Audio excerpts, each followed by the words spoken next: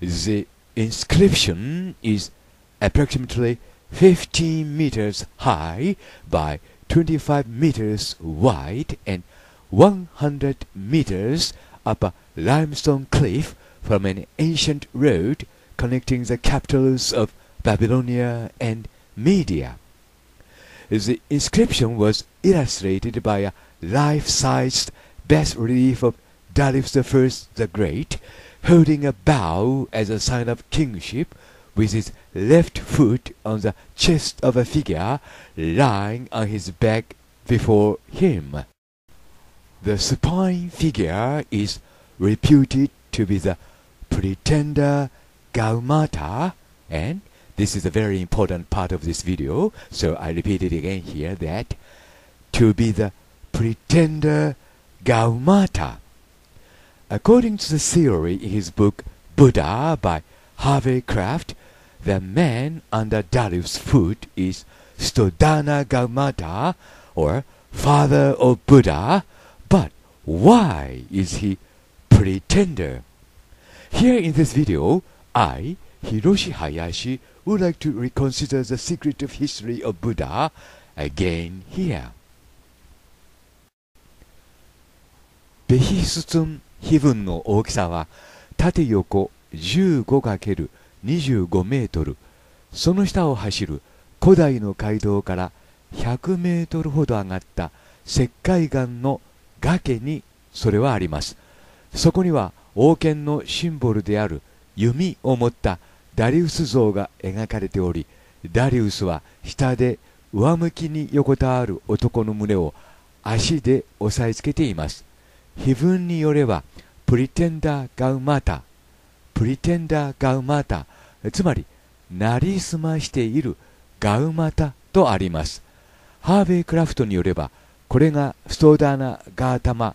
つまり私たちがブッダと呼ぶセッター・アルタ・ゴータマの父親ということになりますがなぜなりすましているとあるのかその謎について考えてみます。広林浜松シティジャパン今矢印で示されているのがガウマタということになりますが皆さんをそのベヒスツン碑文の書いてある場所へ案内します。バビロニア古代バビロニアの北東約440キロの位置にそれがあります。古代バビロニアです。そしてルート湾上にペルセポリスが位置します。そしてブッダの生まれ故郷と言われているルンビニです。こういう位置関係にあります。位置的には偏僻な山岳地帯の中にあるということになりますがバビロニアとメディアをつなぐ街道沿いの場所ということになっています。中央にそれが見えてきます。で写真をイタリア在住のニコさんという研究者の方が送ってくださいました。これがベヒスツン山ということになっています。その中腹にこのような、まあ、碑文といいますか、えー、インスクリプションが書かれていたというわけです。左から3人目の大柄な人物がダリウス・ the first ダリウス大王ということになります。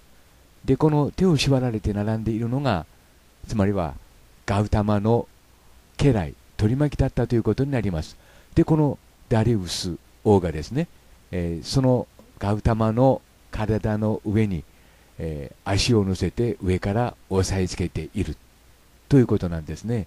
でここに描かれているこの人物はストダーナ・ゴータマ。つまり私たちがブッダと呼んでいるシッタルタ・ゴータマのお父さんということになります。がなぜこのように足で踏みつけられているのか。ということなんですけども碑文によればプリテンダーガウマタとあります。つまりなりすましゴーマタという意味です。ここが重要なポイントですからその出典を明確にしておきたいと思います。ウィキペディアベヒスツンインスクリプションにそれがあります。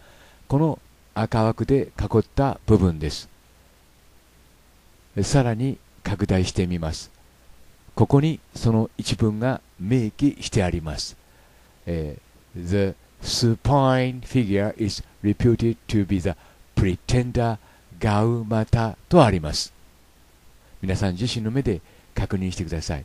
仰向けに倒れている像は、えー、なりすましガウマタであると言われているとあります。ここにガウマタという名前が出てきますでなぜなりすましなのかペルシャの歴史を簡単に振り返ってみたいと思います。中央やや左寄りがバビロンです。古代バビロンです。主神はマルドックでした。そして下がペルセポリス。ルート湾上にあります。そして右がルンビニです。ブッダの生まれ故郷と言われているルンビニです。そのバビロンをキュルス・ザ・グレイトキュルス2世が制圧し初代の王朝を築き上げます。530年没です。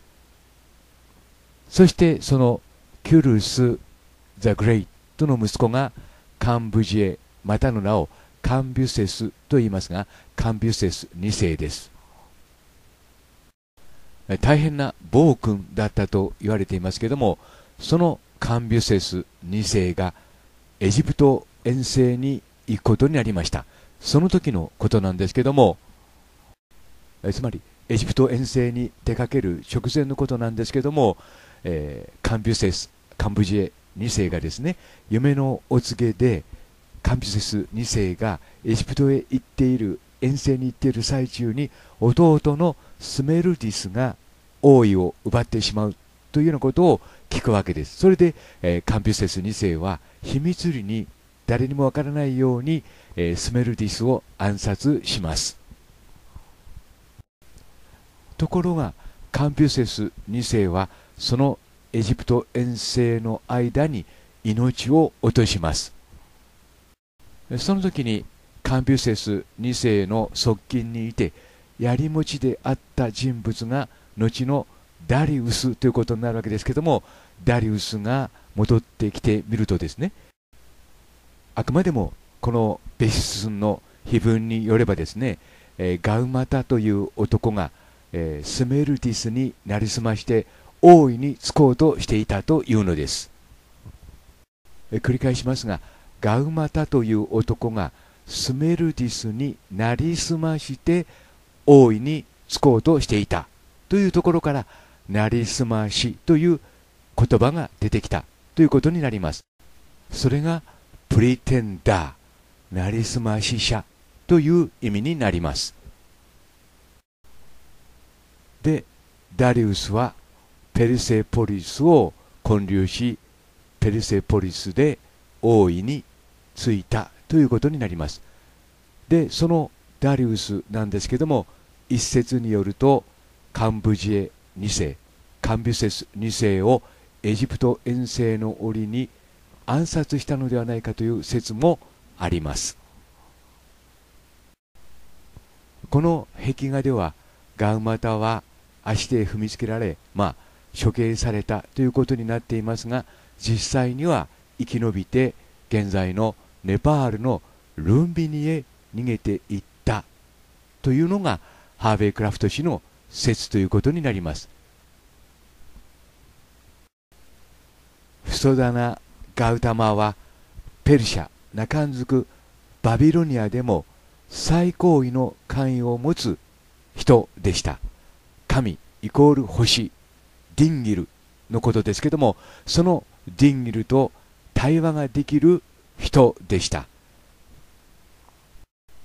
つまりそんなに簡単にただの槍持ちであったダリウスに暗殺されるような人物ではなかったということですが私林博のナスカ理論によってそれを簡単に証明してみたいと思います。バビロンペルセポリスルンビニの3つの地名を頭に入れて次のナスカ理論をご覧ください。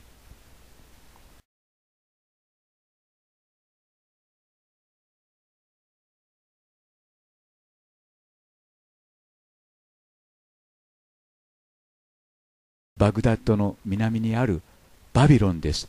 そのバビロンの中心点からナスカに向かって線を引きます。この中心点がバビロンです。その中心点からナスカに向かって線を引きます。次にペルセポリスの中心点からやはり同じようにナスカに向かって線を引きます。そしてブッダの生まれ故郷と言われているネパールのルンビニです。そのルンビニからもナスカに向かって線を引きます。ナスカにはそれぞれの拠点からのラインが集まっています。そして関連し合う拠点からのラインは一つのプラットフォームに集まっています。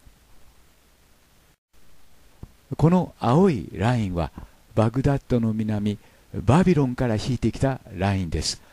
バビロンラインとしておきます。この黄色いラインはペルセポリスから引いてきたラインです。ペルセポリスラインとしておきます。そしてこの右上から左下にかけての緑のラインはルンビニから引いてきたラインです。これら3本の線は1つのプラットフォームに集まっています。つまりこれら3本の線が示す拠点は何らかの形で関連性がある。つまり共通性を持っているということになります。もう一度繰り返します。ブルーのラインはバビロンラインです。黄色いラインはペルセポリスラインです。そしてグリーンのラインはルンビニラインです。では、どんな関連性があるかということですけども、言うまでもなく、ブッダとそれぞれ関連性があるということになります。緯度、経度はここに示しておきます。興味のある方は、ご自身でご確認ください。逆に考えるとナスカのラインはそれぞれの拠点への方向ラインであると同時にそれぞれの拠点の関連性を示すえつまりは歴史ラインということにもなります。倍林博説です。えつまりこのような形でルンビニとペルセポリスとそしてバビロンは関係がありますよということを私たちに教えているということになります。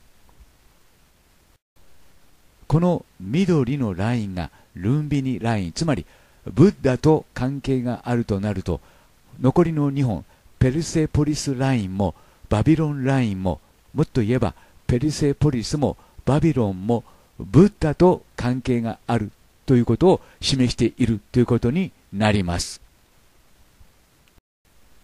さらに言えばペルセポリスの碑文の中にストダーナ・ガウマタそしてセッタ・アルタ・ガウマタという名前があったことを考え合わせるならばこの3箇所はブッダと深く結びついているということを示しているということになります。ではどのような関係と考えたらよいのでしょうか？こうしてまたブッダの謎に一歩近づくことができました。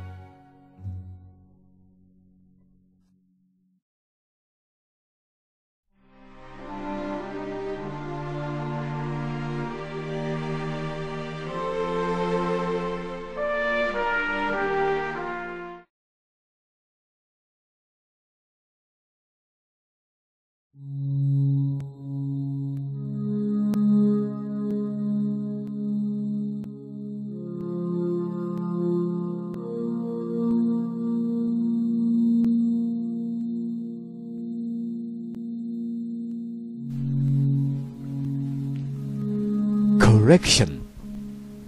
The first man from the left is Darius the first.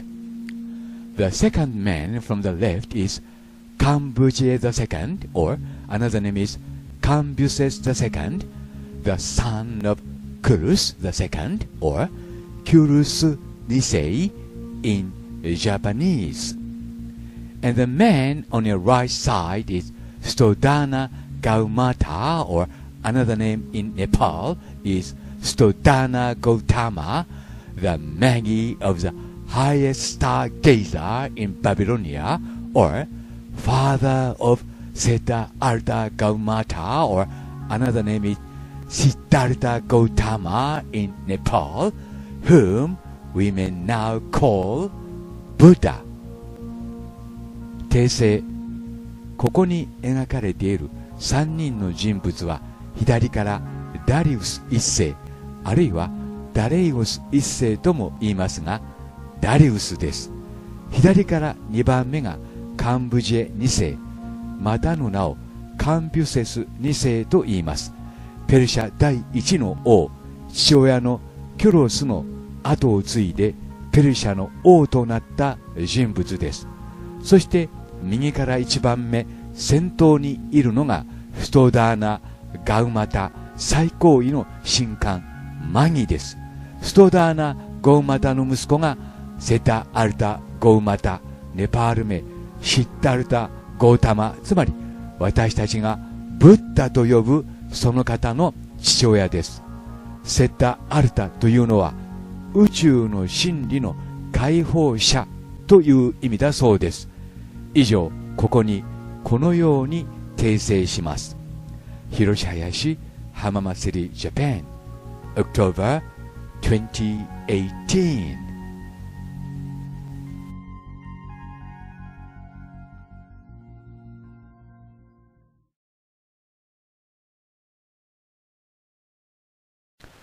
ビデオダイアリー August the 19th 2017 by Hiroshi Hayashi 浜祭り Japan ビデオ日誌2017年8月19日林博です。今日のテーマは3人のマギです。3人のマギ。イエス・キリスト降誕の時にですね3人の賢者がやってきて、えー、マリアの主女解体によって生まれたイエス・キリストを祝福します。その時に出てくる言葉が3人のマギですよね、えー、3人の賢者あるいは3人の博士とも言います。いろいろ言われていますけどもマギです。ところがですねこのマギという言葉がですね大変重要な意味を持つわけです。マギっていうのは前もって話しておきますと例えばマジシャンのマギですね。まあ、マジックの前にですね、ま、そうしたその魔法、あるいは魔術師にのその語源ともなった言葉がこのマギだそうです。で、そのマギなんですけども、そのマギという言葉がですね、まあ、紀元前以前にはですね、2度しか、まあ、歴史上、まあ、現れてこないといいますか、記録に残っていないといいますか、そういうことなんですよね。で、一度は、えゾラスター教の経典の中に出てくるマギです。で、もともとゾラスター教というのはマギ教と呼ばれていたみたいですね。が、その後、待ってますか、ゾロアスターという人、つまり別名ザラスストラという人によって広められたので、ゾロアスター教となったと。で、もう一度はですね、えー、ペルセポリスの碑文に残るマギです。そのマギというのは、ストダナ・ゴータマであることがはっきりとしています。ストダーナ・ガウタマ、あるいはストダーナ・ガウマタとなっているそうですけども、このペルセポリスの碑文の中に出てくる前にですね。で、別の文献によりますと、紀元前500年以前には2度しか出てこなかったと書いてあるあります。ともかくも、ペルセポリスとそれからあゾラスター教の教典の中にマギという言葉が出てくるわけです。で、そのマギなんですけども、固有名詞なのか、いわゆる一般名詞なのかということが大変重要な意味を持つわけです。で、いろいろ調べてみますと、えー、ギリシャ語のマグスだったと思いますけど、ちょっとあの発音の仕方わかりませんけども、マグス、いわゆるまあ、スターゲーザーですよね。いわゆるマジシャンの語源になった言葉ですから、まあ、日本語にそのまま訳すというのはちょっとこう無理があるんじゃないのかなと思いますけども、要するにマグ、マゴス、GOUS だったと思うんですけど、ちょっと今あの手元にあの資料がありませんので、えここはあの記憶によって話してますけども、の複数形であると書いてあるわけです。つまり、マギという言葉は複数形であると書いてあるわけですよね。で、それはいつそのようにどのようあの解釈されて、そのギリシャ語の複数形であるというふうになっているかについては、あの疑問が残るわけですけども、それはさておいてもですね、要するにペルセポリスの碑文の中に出てくるのがですね、いわゆるスダナゴータマ、マギと出てくるわけです。すなわち、マギのスダナゴータマというふうに出てくるわけです。となると、その場合のマギは単数形でなければなりませんよね。ストダナ・ゴータマという単数の人ですからね。で、ストダナ・ゴータマが、まあ、単数の人ですから、マギというのは単数形でなければならないと。そうしますと、そのマギという言葉が複数形であるという言い方は、どこから出てきたかということなんですけども、いろいろ考えればおかしいわけですよね。というのは、その後ですね、ヘロドゥトゥスという、まあえー、ギリシャの歴史家なんですけども、歴史という本を書くわけです。その中にやはり同じ話が出てくるわけですよ。ね同じ話ということは、ペルセポリスの碑文に書かれている話と同じ話が出てくるわけです。で、まあ、ヘロドトゥスの方が後の、その後の人ですから、当然ヘロドトゥスはペルセポリスの碑文をもとにして歴史を書いたということになるわけですよね。そうしますと、その、えー、ヘロドゥトゥスが使ったマギというのは、どこから来たかと言いますと、やはりここでも矛盾が生ずるわけです。マギというのを、その、マグスの、マゴスの、いわゆる複数形であると。まあ、そういうふうに、まあ、書いて、まあ、他の文献にはですよ、そう書いてあるから、やはり矛盾が生じてくるわけですよね。まあ、言い換えますと、マグ、マギというのはマゴス、マゴスと読むでしょうね。マゴウスと読むあの言葉の複数形であるという説は、ここで崩れるということになるわけです。ともかくも、事実として、まあ、分かっていることはですね、えー、紀元前、少なくとも紀元前500年以前にはですね、マギという言葉は歴史上2度しかま表記されていないわけです。一つはゾラスター教の経典。そしてもう一つはペルセポリスに残る碑文。その中にはストダナ・ゴータマ・マギ。あるいはマギ・ストダナ・ゴータマってあるのもありますけども、要するにストダナ・ゴータマがマギだったということなんですよね。マギ。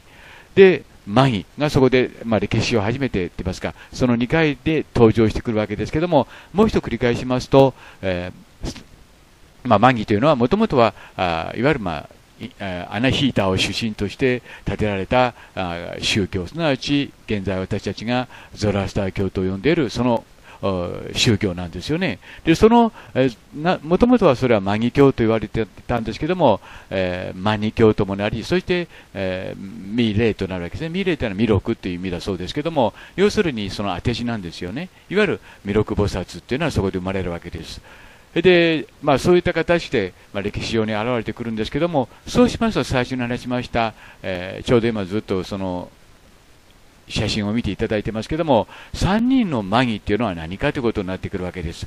もちろんあのキリスト交代の時にはあのやってきたその3人のマギっていうふうになってまして、その3人のマギがですね、イタリアのサンタアポリナーレ・ヌーボーのその寺院の壁画にこのように書かれているわけです。で、3人の人物が書かれてるんですけども、まあ、この場合は向かって左左右から3人目の今ちょうど左に見えている人がですねこれはダリウス1世であることは私、林宏が証明しました。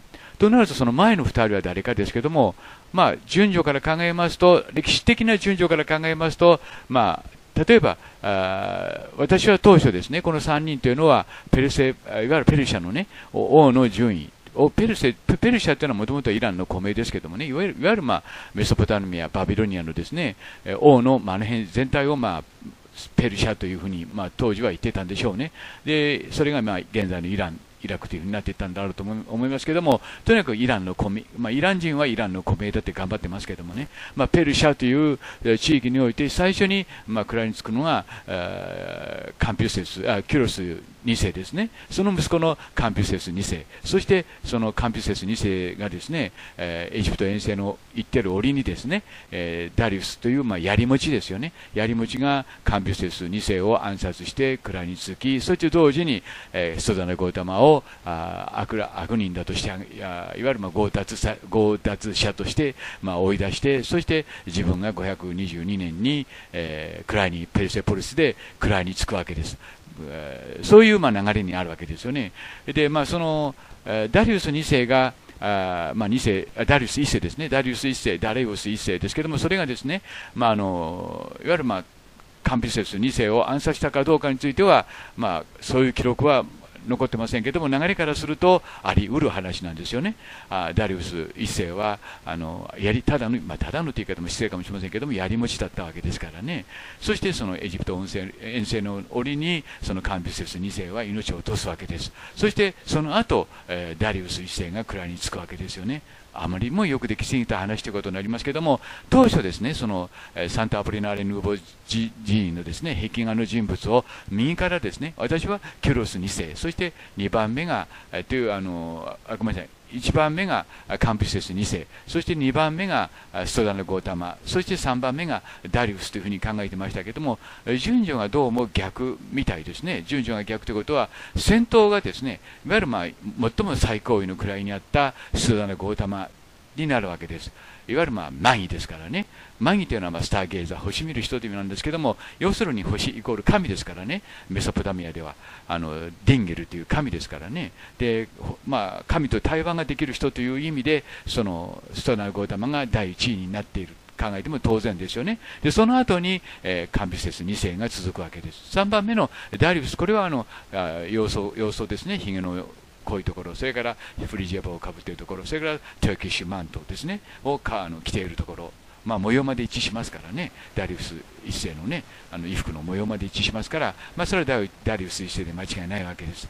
まあ、そういった視点でもう一度見直しますと、先頭に立っているのがストダナ・ゴータマ、そして2番目が、えー、カンビセス2世、3番目がダリウス1世となるわけです。そうしますと年齢差も合うんですよね。というのは、一番先頭に立っている人は、まあ、まあ、結構年配といいますか、じいさま風ですよね、私のようにね。で、2番目が若いですよね。で、3番目がダルフスから間違いないと。そうしますと、やはり先頭に立っているのが、あまあ、マギのストダナ・ゴータマであるということになるわけです。で、2番目のそのカンピュセス2世。これはあの大変な暴君でしてね、あのカリギュラ、それから、まあ、あのエリザベスエリザベスじゃなくて、マリアですね、マリアじゃなくて、メアリーですね、メアリー女王ですね、ちょうどルネさん1500年の後半にあのイギリスであの強制的にねあのプロテスタントを改宗して、えカトリックに改宗したあブラディ・メアリーですね、メアリー女王ですね。この3人は歴史上最も、なんて言いますか、暴君と言いますかね、残虐な暴君として知られています。その中の1人がカンビオセス2世なんですよね。ですからまあ、それほど長く在位はしていなかったんですけども、もう一度繰り返しますと、サンタアプリナレルンボの聖堂の中に描かれている先頭に立っているのが、これが、まあ、私はストダナ・ゴータマであであると判断しました。マギです。そして2番目がカンビセス2世ですね。そして3番目が一番左ですけども、それが、えダリウス。一世ということになるわけです。なぜこれが重要かというとですね、いわゆるまあ、マギというのが固有名詞か、いわゆるまあ、あの一般名詞かですけども、まあ、固有名詞としてしまうと、大変キリスト教にとってはまずいわけですよね。現在のローマンカトリックにとってはまずいわけです。なぜならば、その3人のマギがですね、まあ、3人のマギとしてイエス降誕の折にですね、えー、聖母マリアの、ままあ、ところへやってきてイエス降誕を祝うということはありえないわけですよね。と同時に、まあ、あのありえないわけですね、要するに。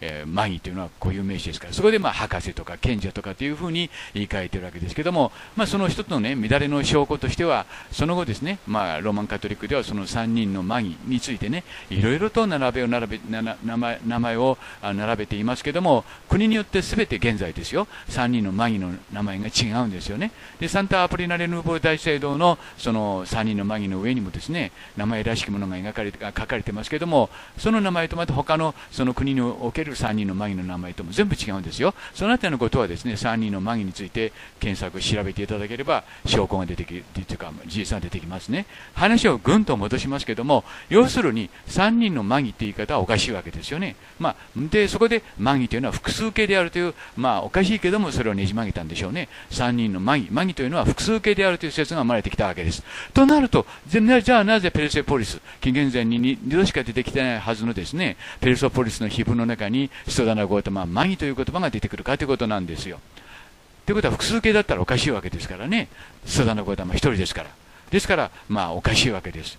で、そこで調べていきますと、ストダナゴータマというのは、まあ、調べていくというか、あの、と同時にですね、もう一人、息子のセタ・アルタ・ゴータマという名前が出てくるわけです。それはペルセポリスの碑文の中にも出てくるんですよ。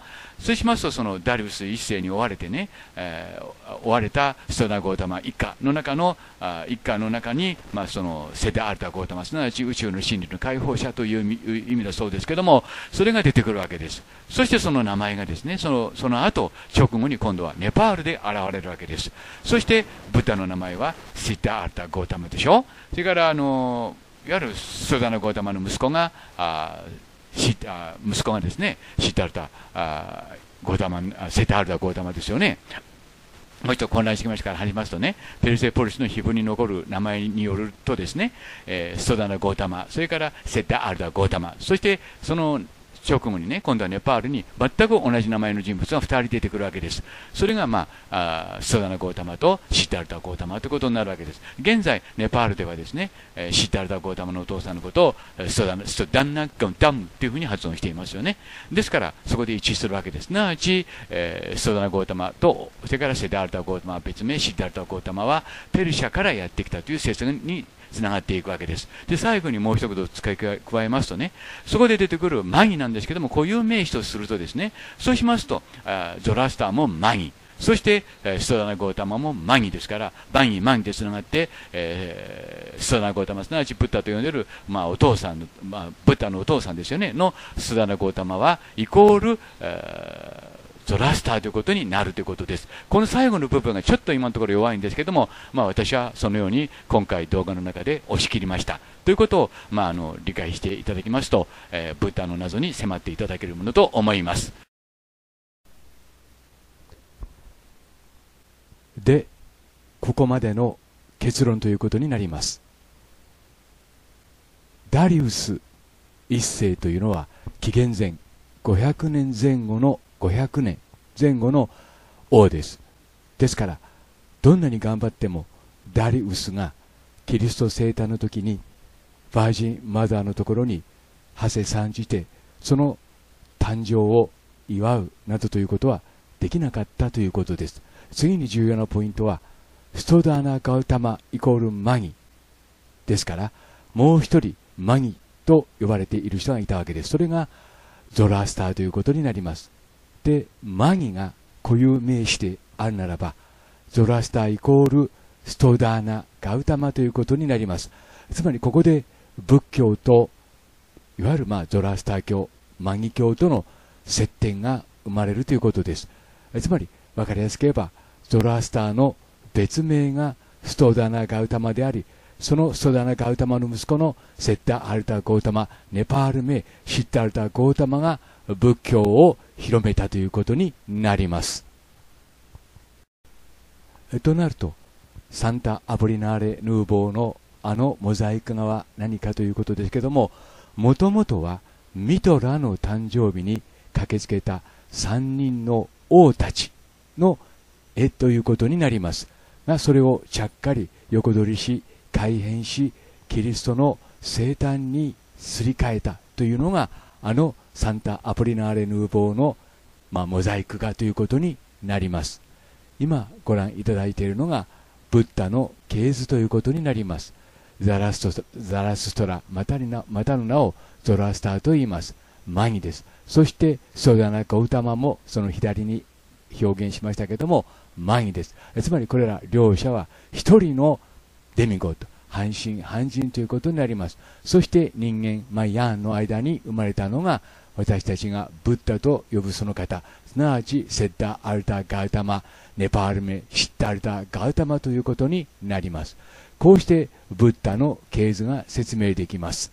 で、ついでですけども、キリスト教ではキリストの誕生のことを誕生とは言っていません。降誕という風に言い換えて、まあ、すり替えていると言いますか、逃げています。つまり、12月25日は、キリストの誕生日ではなくて、ミトラの誕生日、つまり、えー、ゾラスター教でいう当時祭の12月25日にバージンマダーアナヒーターのもとで生まれたとされるミトラの誕生日であったということになります。それがクリスマスとして現在残っているということになります。一連のブッダの動画の中でそれを詳しく説明していきたいと思います。Bye for now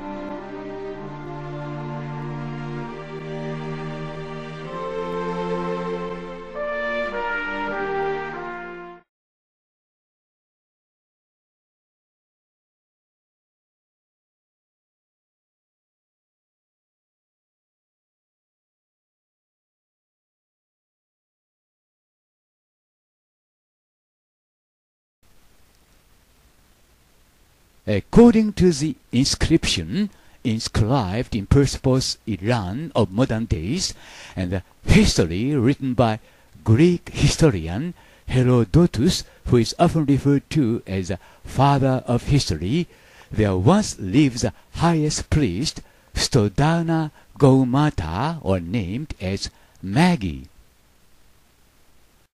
He was the highest class of humans who worshipped Marduk, god of gods. His alternative name was Zoroaster, or he was called Zarathustra in some other regions. And his name was inscribed in Persepolis as Magi of Stodana Gomata, father of Seta Alta Gomata, since there was only one single Magi in Persia. Stodana Gomata was a king of Saka tribe in Persia, as well as Magi, but he was exiled from Persia by Darius I and escaped to Lumbini, Nepal of modern days. I, Hiroshi Hayashi, understand that Stodana Gomata in Persia or Stodana Gautama in Nepal was a demigod who founded Buddhism as well as Magi or Zoroastrianism because I also understand that the term Magi was a proper noun, not a general noun. This is a summary of this video in which I prove each fact to be true with evidence to know who Buddha was and where Buddha came from? ペルセポリスに残る碑文及び歴史の父と呼ばれるヘロドトスの歴史によればかつてペルシャにはサカ族の王ストダーナ・ガウマタと呼ばれる最高位の神官がいましたまたの名をゾロアスターさらにまたの名をザラス・ストラと呼んでいました。そのストーダーナ・ガウマタはペルシャでも最高位の神官、つまりマニでした。が、ストダーナ・ガウマタはやがてダリウス一世にペルシャを追われ、現在のルンビニに逃れます。ルンビニでは現在の今でもストダーナ・ガウマタはストダーナ・ガウタマと呼ばれています。私たちが現在、ブッダと呼ぶペルシャ名、セダアルタ・ガウマタ、ネパール名、シッダルタ・ゴータマと呼ぶその方の父親です。セダアルタというのは宇宙の真理の解放者という意味です。また、マギという簡易は簡易ではなく固有の人物を示す固有名詞であったと判断したことにより、マギ教を広めたゾロアスターとストダーナ・ガウマタは同一人物であったと私、林博は判断しています。この動画の中では、こうした事実を一つずつ証拠を挙げて証明しながら、ブッダとは誰なのか、また、ブッダはどこから来たかを証明します。広林浜松シティ、ジャパン。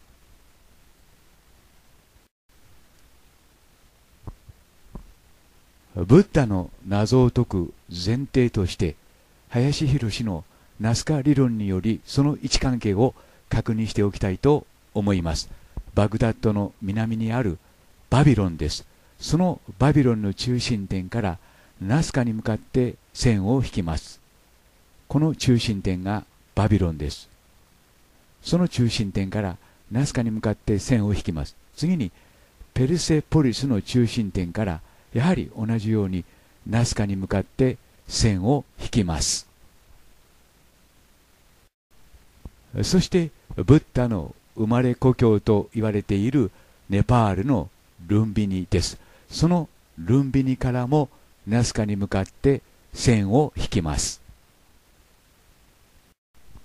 ナスカにはそれぞれの拠点からのラインが集まっています。そして関連し合う拠点からのラインは一つのプラットフォームに集まっています。この青いラインはバグダッドの南バビロンから引いてきたラインです。バビロンラインとしておきます。この黄色いラインはペルセポリスから引いてきたラインです。ペルセポリスラインとしておきます。そしてこの右上から左下にかけての緑のラインはルンビニから引いてきたラインです。これら3本の線は1つのプラットフォームに集まっています。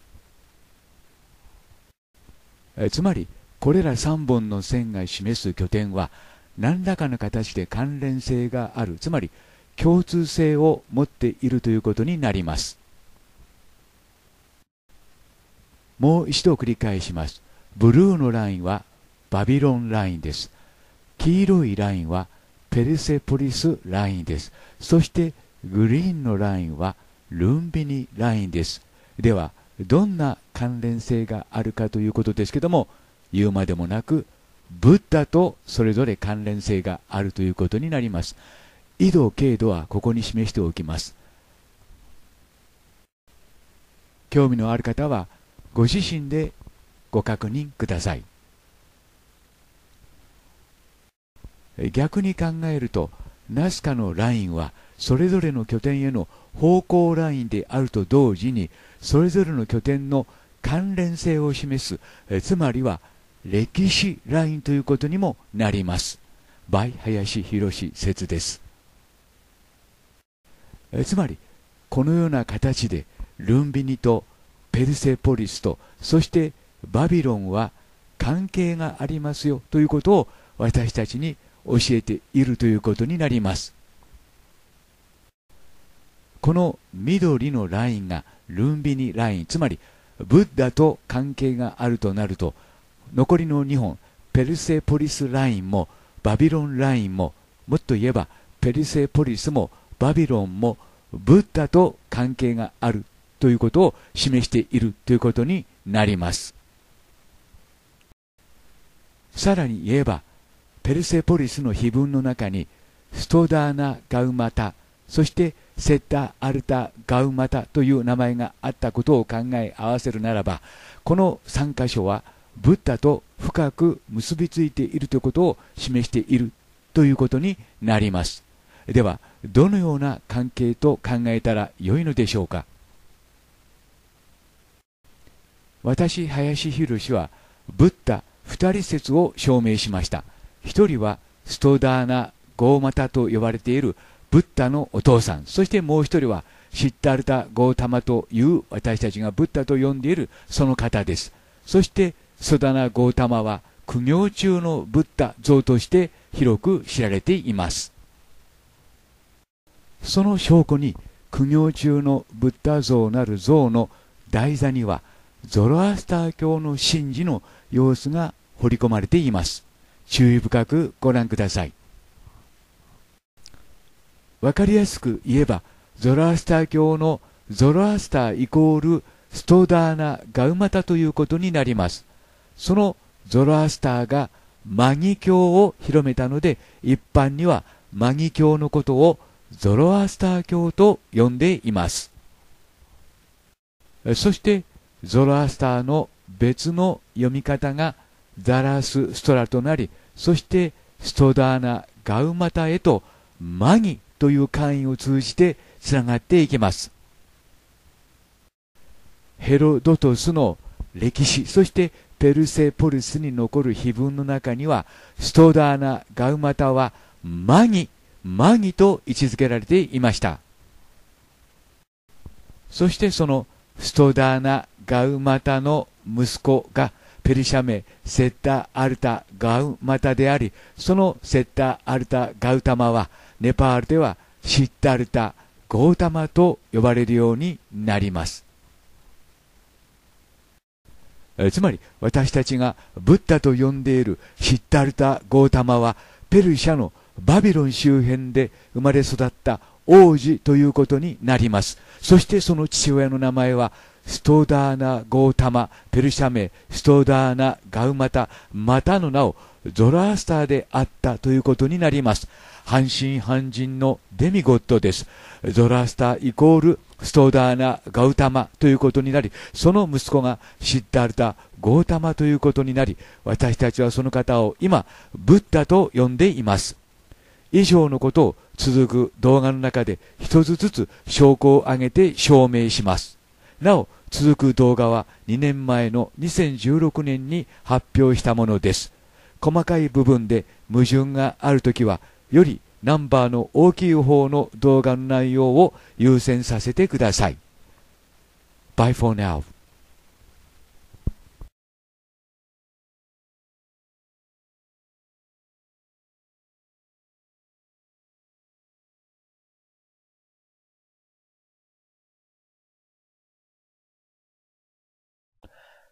Mr. Sozen Watanabe has let me know about a very interesting book published in 2000 by Mr. Tamotsu Sato, a book in which Mr. Tamotsu Sato claims that Buddha was from West Asia, not born and raised up in India. Here is a brief introduction of the book. Hiroshi Hamama City, Japan. 渡辺宗禅さんからこんな大変興味深い情報が届いています。仏教の起源はなんと西アジアであったというのです。えー、1991年カルカッタ在住のラジナット・バール氏がそれを発表していたというのです。つまり、原始仏教はですね、紀元前3000年頃に起こり、そして東西に伝播したというわけです。そしてペルシャの、まあ、ダリウス王のですね、まあ、仏教徒迫害によって仏教徒の一部はインドに定着したと。そして今日知られる仏教になったというわけです。そしてその本をですね、あの、佐藤玉内氏がですね、2000年に翻訳出版なさったというわけです。大変興味深いと思います。今まで私が調べてきた内容と一致します。こうした情報は大変心強いですね。これがその佐藤保氏のブッダの謎という本です。ブッダはメソポタミアからやってきた。仏教はインド起源ではない。ということです。で、ブッダの謎。ブッダとは一体誰なのかということなんですね。仏教はインド起源ではない。まあ、ダリウス王にですね、追われて、現在のネパール周辺へやってきたということになるのでしょうか。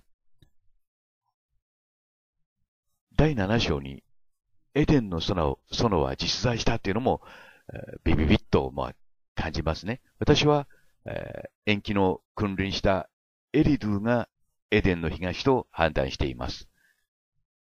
で、室マッチウェブサイトさんはですね、佐藤タムツ氏の、まあ、本の、まあ、感想をこのように書いておられます。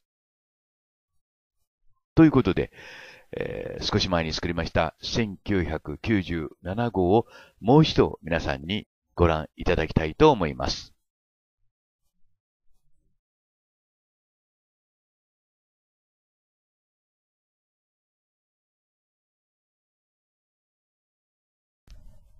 The Amazon.com introduces a book whose title is Buddha, written by Harvey Craft, as follows. The author contends that during this incident, Siddhartha Gautama may have been the leader of Babylon's Magi, an interface order that assures governance of the region. The situation explodes when Darius the Great seizes the throne. Simultaneously, the Meg order is purged as Siddhartha, prince of Saka nation, heads back east to the Indus. Could this event have inspired the creation of Buddhism as a pacifist movement? Dedicated to the pursuit of self-transformation, goodwill, and universal compassion? The Buddha from Babylon. The lost history of the cosmic vision of Siddhartha Gautama uncovers new evidence that solves this ages-old mystery and discovers Babylonian influences in the Buddha's revelations. ブッダの話をします。広島市、浜場シティ、ジャパン。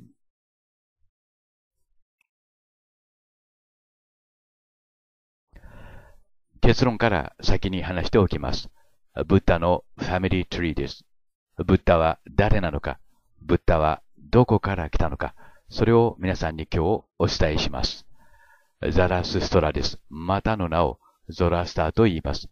アフラマズダーがそれまでの神々をまとめてアフラマズダーとします。ゾラスターの名前で知られるようになりましたので、ゾラスター教と言います。もともとはマギ教と言います。そしてもう一人、マギがいます。それがペルセポリスの碑文に残るストダーナ・ガウタマです。ザラスストラもマギ、ストダーナ・ゴータマもマギでした。そして、そのストダー・ゴータマとマヤンとの間に生まれたのが、私たちがブッダと呼んでいるシッタルタ・ゴータマ、すなわちペルシャ名、セッタ・アルタ・ゴータマです。二分の一ハイブリッドとなり、まあ、混合子ということになります。そして、ザラスストラの妻ではありませんけども、直接的な関係のあるアナヒーターから、ミトラが生まれます。12月25日当時祭の日に、母、アナヒータの処女階段によって馬屋で生まれます。ミトラです。で、マギというのは固有名詞です。で、まあ、紀元前にですね、二度しか出てきていません。一人は、ゾラスター教の経典、すなわちザラスストラのこと。そしてもう一はペルセポリスに残る碑文、すなわちストダーナ・ガウタマということになります。すなわち、ストダーナ・ゴータマイコールザラスストラ、ザラスストライコールストダーナ・ゴータマということになります。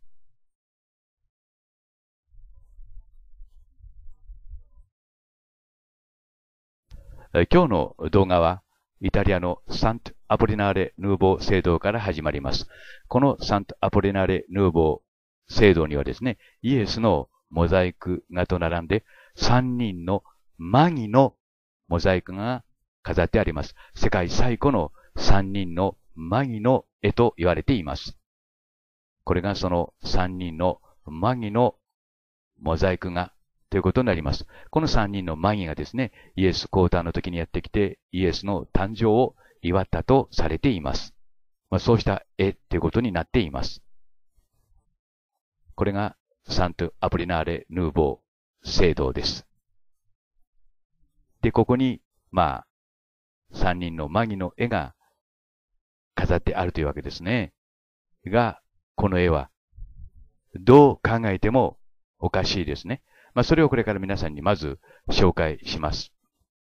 まずこの三人のマギの絵を確認しておいてください。マギ、キリスト降誕の時に祝いに来た東方の三博士のことを言うと、また一緒、聖書にそのように書いてあります。確認しておいてください。三人のマギ、三博士のことだというわけです。で、この絵を検証してみます。いわゆるまあキリスト誕生の時にね、やってきてキリストの誕生を祝ったというわけですけども、この、まあダリウス大王ですけども、この姿勢に注意してください。どこか不自然ですね。いわゆるまあ、絵画的に下手くそだということですね。デザイン的に。これは、お牛座をかたどったものです。お牛座です。お牛というのはミトラ教のシンボル的な動物です。みんなミトラ像です。やはり同じような姿勢をしています。そして、このダリウス王はですね、帽子をかぶっていますが、これがフリジア帽です。トルコ中部の古名です。フリジア帽ですね。みんなミトラ像と思われます。まあ、フリジア帽として紹介しました。そして、この、まあ、ダリウス王はですね、後でその証明しますけども、トルコのトルキッシュケープを身にまとっています。トルコのケープを身にまとっています。まあ、右はですね、現在市販されているトルコのケープ、ケープです。そして、ここに奇妙な木がありますが、まあ、これはナツメヤシの木ということになっています。聖母マリアは妊娠中、このナツメヤシの実を食べて過ごしたと言われています。が、この木はナツメヤシではありませんね。後から取ってつけた。すなわち、まあ、改変してあるということになります。注意深くご覧ください。まあ、取っ手の部分がですね、螺旋的にって言いますか、渦巻き型に上に盛り上がってますね。そしてその葉っぱを取りますと、これはまさしく、ミトラ教、あるいはその前のズラスター教での神事で使う、統治ということになります。比較してみてください。すなわち、統治をこのような形に改変したと考えられます。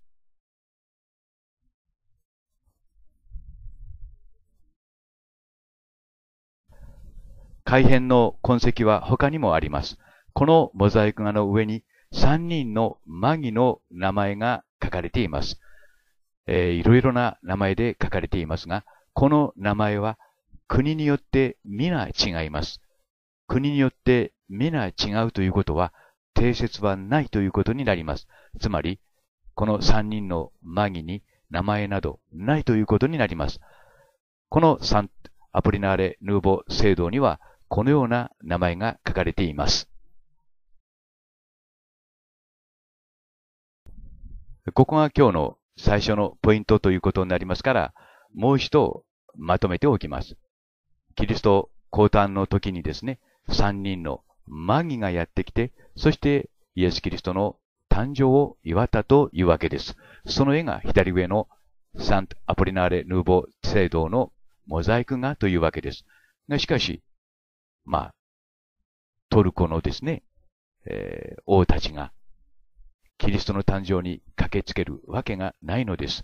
まあ、それもこの後順に説明していきますが、まあ、ここでマギという言葉が出てくることに注意してください。そして、カトリック教会の方ではマギという言葉を一般名詞として堂々と使っています。が、マギは一般名詞ではなく固有名詞です。まあ、つまり、ありえない絵ということになりますが、その理由はこれから順に説明していきたいと思います。フリーギャボーのフリージャーボーですね。これはミトラ教のシンボル的な帽子です。そして姿勢もミトラの姿勢です。そしてトルコのケープを身にまとっています。つまり、この三人のマギと言われているこの三人の人物は、イエスではなくて、ミトラの誕生をを祝うためにやってきたマギということになります。まずその点を注意深くと言いますか、しっかりと確認しておいてください。ミトラ教は、キリスト教がですね、ローマ国教となると同時に徹底的に弾圧されます。で、このマギという言葉なんですけども、後でもう一度触れますけども、紀元前には二度しか出てきていません。一回はゾラスター教の協定の中、そしてもう一回はペルセポリスの碑文の中です。それ以外は出てきていません。すなわち、カトリックが教が言うような一般名詞ではなくて、固有名詞だということです。そして、そのペルセポリスの碑文に出てくるマギは、紀元前520年頃に書かれたものだということが分かっています。ここが重要です。紀元前520年頃に書かれたものだということです。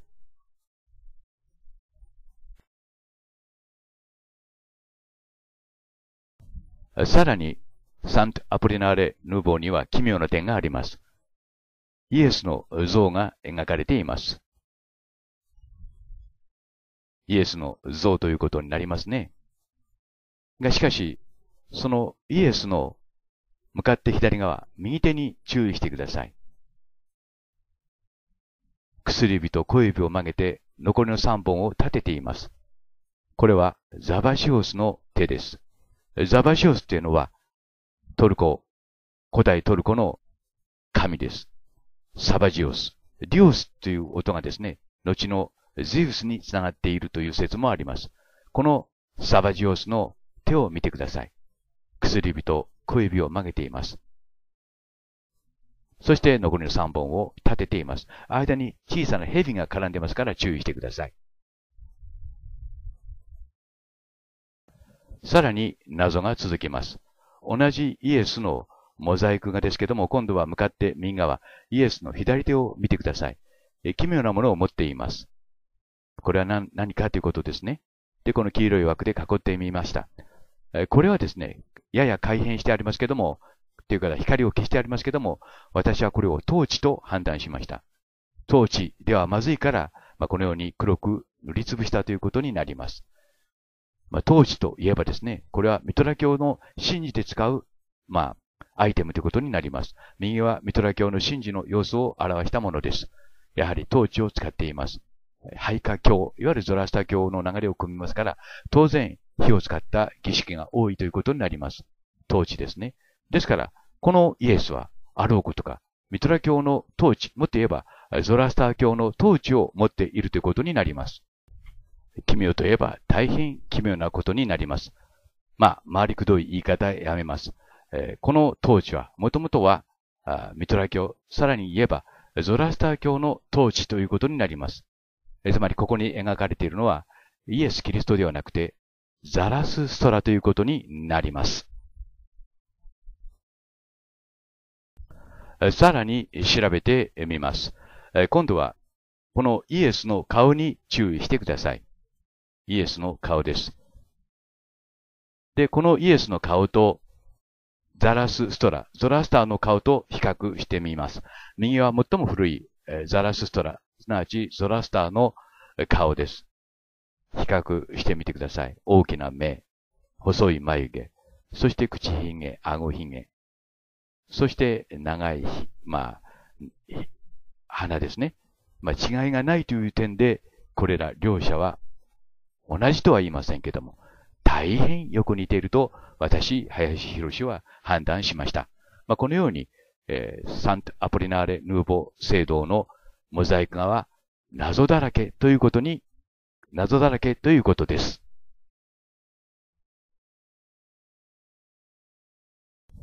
ここで重要なポイントはですね、まあ、ローマンカトリックの方は、これは3人のマギであると説明しています。その前提として、マギというのは一般名詞で、ただ単なる星見る人、あるいは占い師という意味だというわけです。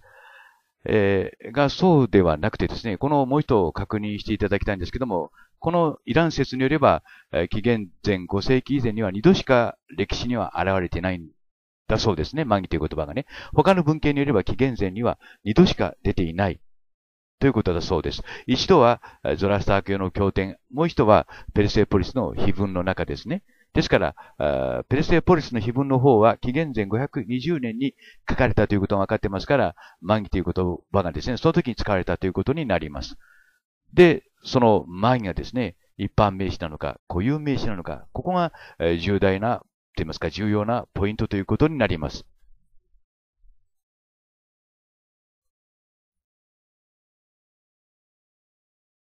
その謎を解く鍵がですね、実はこのサント・アポリナーレ・ヌーボー聖堂の壁画自身にありました。向かって左側の人物に注意してください。冒頭でダリウス、まあ、と言いましたが、ダリウス一世ですね。あるいはダリウス大王とも言います。この人物とダリウスの、いわゆるまあ、ペルシャ一帯に残るダリウスのレリーフと顔が一致します。えー、ランダムにあちこちから拾ってみました。右がですね、これがダリウスのレリーフです。髭、それから、まあ、髭ですよね。口髭、顎髭に注意してください。大変髭の濃い王であったということがこれでわかります。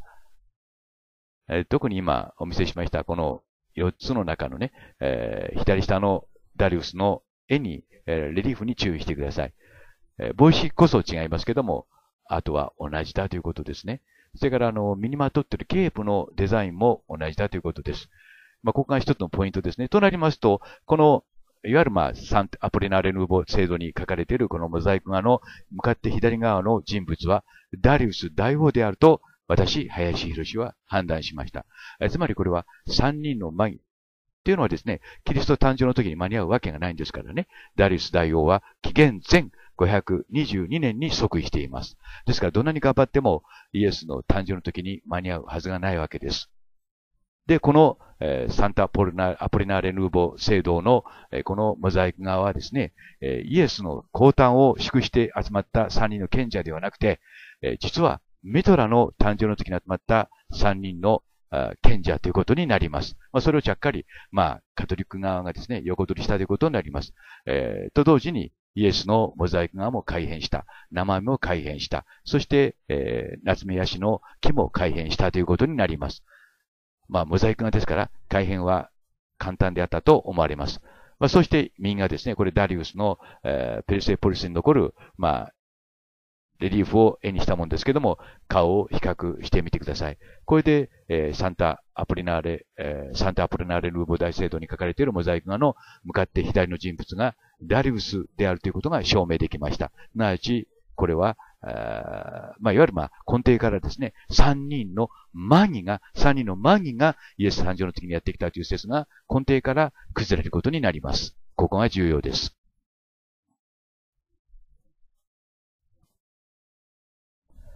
まあ、繰り返しになりますけども、カトリック側が言うですね、三人のマギ説の根拠がこれでなくなったということになります。えつまり、この三人の賢者がやってきて祝ったのは、ミトラであったということになります。ミトラは繰り返しになりますけども、12月25日、当時祭の日に、母アネヒーターの、まあ、主女会談によって、馬屋で生まれました。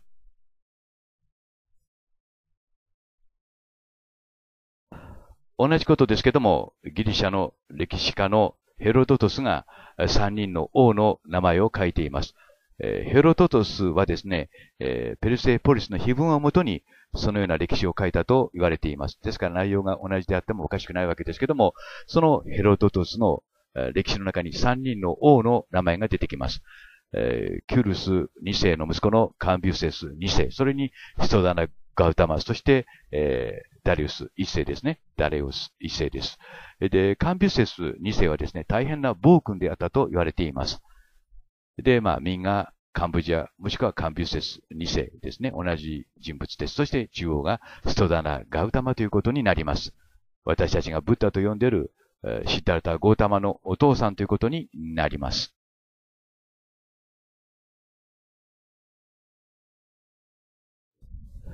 従来の説を紹介しておきます。えー、ペルシャ、まあ、帝国ですよね。えー、まあ、キュロス2世がですね、バビロンを攻略してペルシャを支配します。キュルス2世、あるいはキュロス2世です。で、このブルーのラインがその統治年ということになります。で、息子のカンビュセス、いわゆるカンブジエですよね。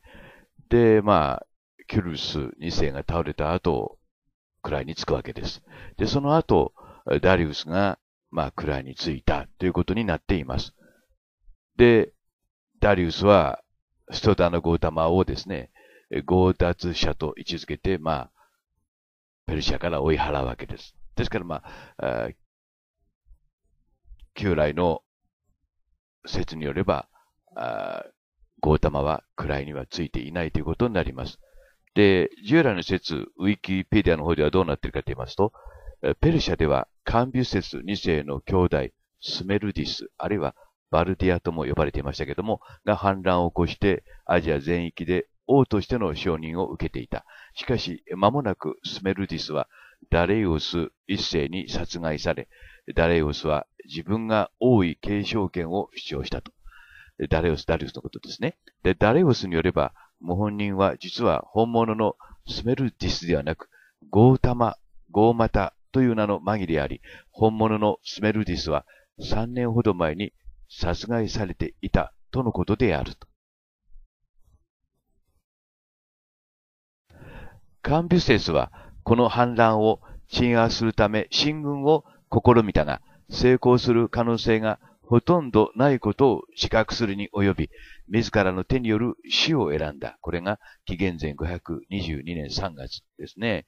で、これは当時カンビュセスのやりもしであったダレオスによる記述であり、カンビュセスは死を事故によるものであったとするヘロドトスやクテーシアスによる伝承よりも広く受け入れられていると。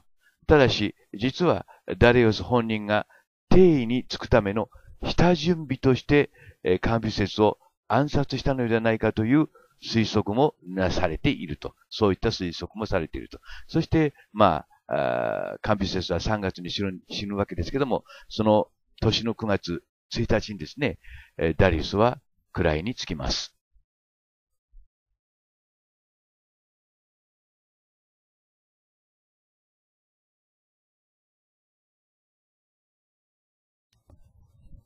ストダーナ・ゴータマという名前は、すでにヘロドトスの歴史の中にありました。が、そのストダーナ・ゴータマと、ブッダの父親のストダーナ・ゴータマと結びつけて考える人は、今まで誰もいませんでした。まさかのまさかということで無視されてきたと思われます。これがハーベイ・クラフト氏の書いたブッダという本です。この本は2014年までに2回 USA の Best Book Winner 賞に輝いています。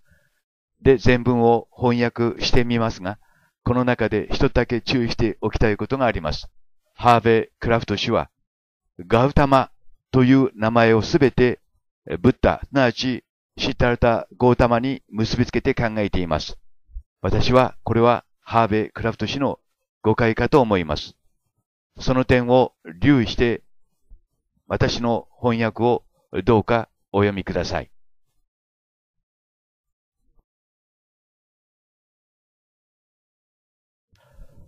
古代ペルシャの碑文によりバビロニアの王とブッダになった男がつながった。シッダルタ・ゴータマ、つまり彼はブッダになったのだが、その存在を示す劇的な証拠が遠く西のペルシャで明らかになった。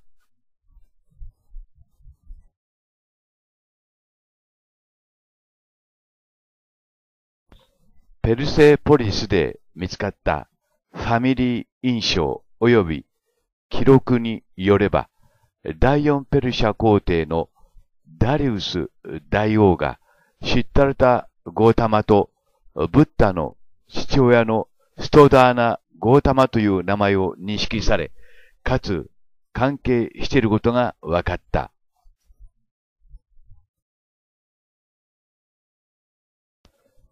ペルセポリスの印象により、王族及び他のペルシャの支配地域の重要な人物が明らかになった。ゴータマは釈迦王国の王族家族の名前であった。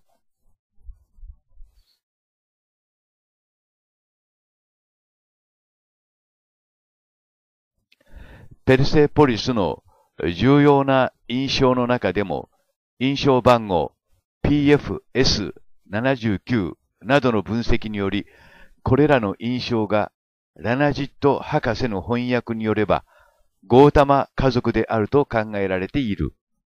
ペルセポリスというのは、ダリウス皇帝第一世のペルシャの首都である。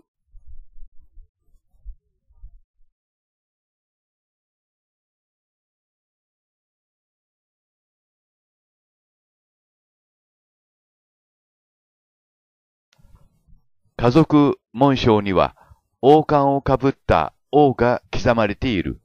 その両側には二頭の長頭、つまり鳥の頭の羽を持つライオンの像が刻まれている。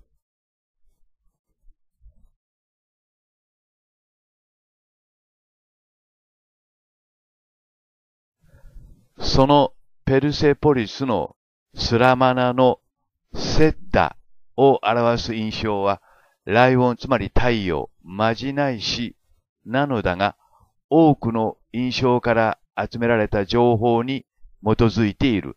つまり、セッタ、アルタ、イコール、シッタルタというのは、すなわち、シッタ、つまり解放者と、アルタ、宇宙の真理のことである。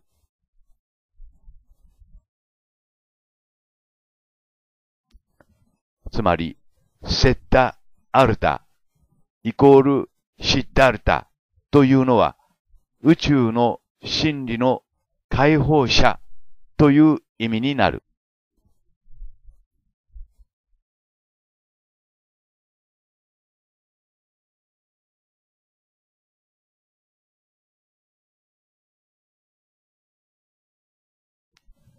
セッタの印象は長島のアルヤ・スラマナ、つまりインダス・ベディックの層に両側を囲まれた統治者の立場の印象は、ストーダーナ・ゴータマ王、ブッダの父親の釈迦族の家系とつながっている。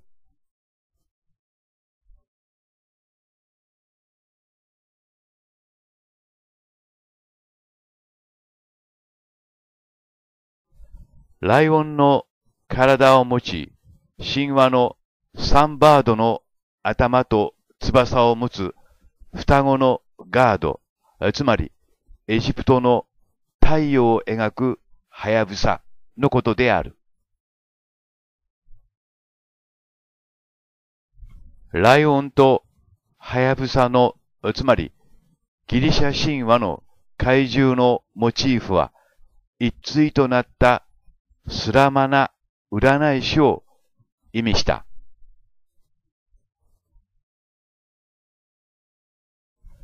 それゆえに、ゴータマと関係した家族印象は、アリャ・ヴェディックの王族の一員を表していることになる。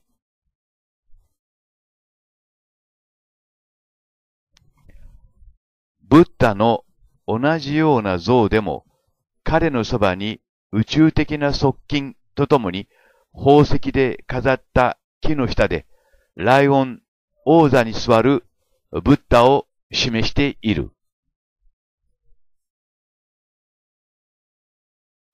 そのブッダ像は、悟りの神聖な木の下におけるブッダの悟りを宣言している。ゴータマ家族の家族紋章は、ペルシャでは何を意味しているのだろうか。シッタルタ・ゴータマはペルシャ帝国と関係しているのだろうか。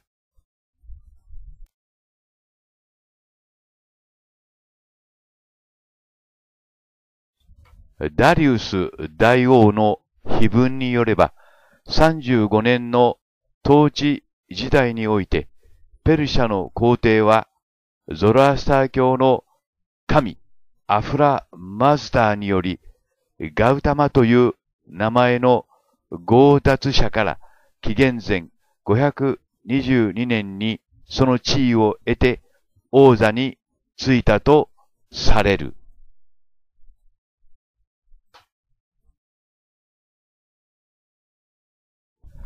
ダリウスは欺き、陰謀、殺人を含む闘争の末、それまでの短命だった王の後に、ペルシャの王座を得た。ダリウスはバビロンで王座を得たガウマタを日和見主義者と位置づけている。ガウマタはペルシャの王のカンブジア皇帝がエジプトへ行っている間に不法な手段で王座を得た王である。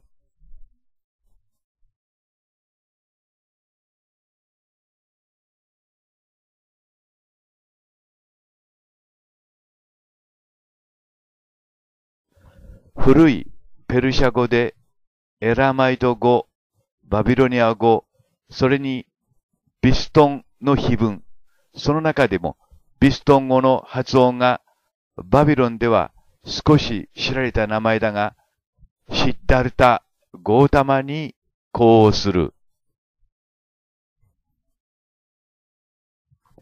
その碑文はグアマテという名前になっている宗教的な像について述べている。つまり、ペルシャの皇帝である考古学上のダリウス王は、グアマテから王座を奪い、バビロンで王座についたことになっている。ダリウスは、グアマテを身分を詐称した不法な統治者であると書き記している。その書き方を見ると、それは高度の教育を受けた民に愛された指導者には見えないが、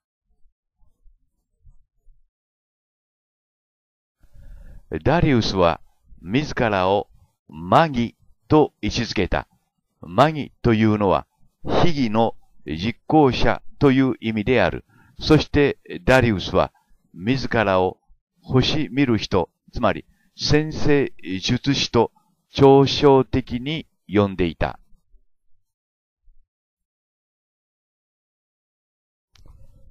ここで言うグアマテというのは、シッタルタ・ゴータマのことであるとするなら、シッタルタ・ゴータマはマギにおいて中心的な役割をしていたことになる。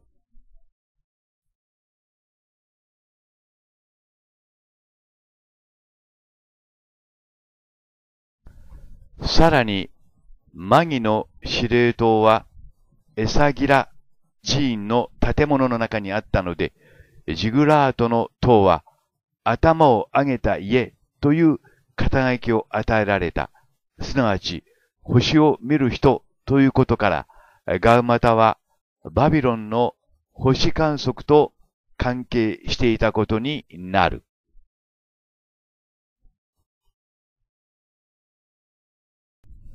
シッダルタ・ガウタマというのは、謎に包まれたガウタマ王のことであったのか。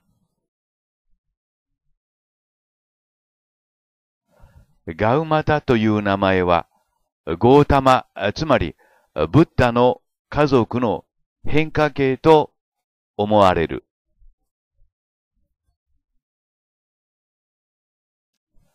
古代のバビロニアという多言語社会においては、一人の人物について多様な綴りで記されたいろいろな名前や肩書きというのはありふれたことであった。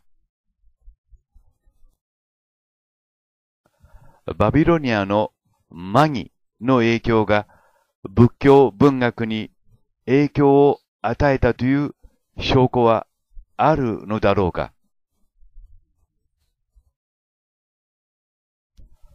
仏教の記述の中にメソポタミアの影響を発見することはできるのだろうか。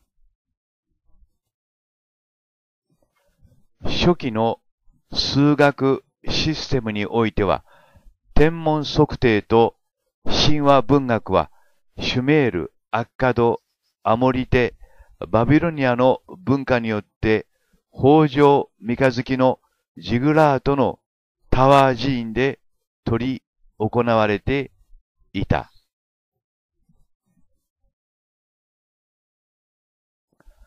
マギとヴェディックの預言者たちは、ブッダの時代にはよく知られていた。チグリスからガンジスに至るまでの宇宙の構造の知識を深めていた。仏教経典における関連性の発見は、仏教がインドという地域で生まれ、他の世界とは隔離された世界で発達したという見解に挑戦していくものである。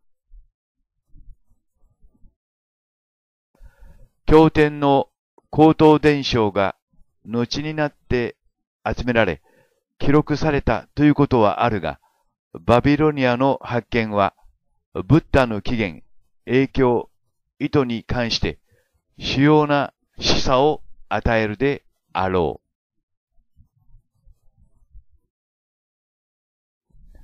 う。ガウタマは慈悲深い哲学者、博愛主義者として表現されているが、多くの民族が集まり、言語も違う世界で奴隷解放を宣言し、重税を軽減し、隣人をして互いに尊敬するように教えた。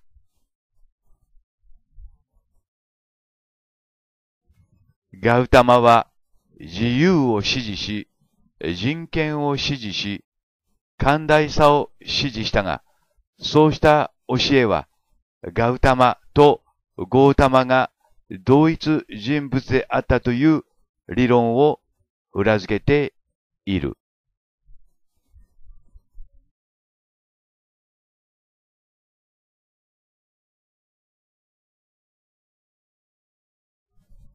シッダルタ・ゴータマは草取り屋、つまり武士階級としての地位を失う象徴として、彼の髪の毛を剃り落とした。そしてゴータマは禁欲の隠遁者になった。ブッダの馬のカンタカは右側に立っているが、彼の召使いはブッダの剣、王冠、王子としての宝石をもらった。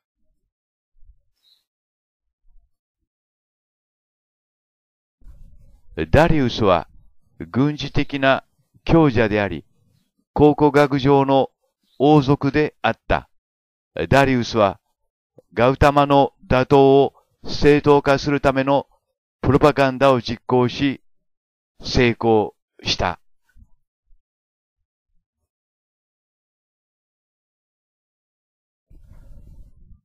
公の碑文の中で、ダリウスは強奪者であるガウタマを殺害するのを正当化するため、目撃者としての彼の仲間についても書き残している。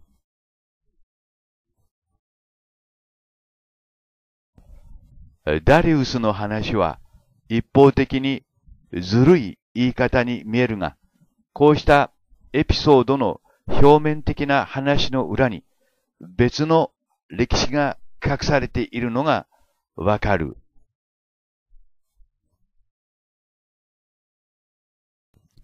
ダリウスが彼の歴史を自分に都合の良いように書いたことは確かだが、実際に起こったことが何千年もの間、誰にも知られず、今日まで残ったというのも歴史家たちがガウマタについてほとんど知らなかったからである。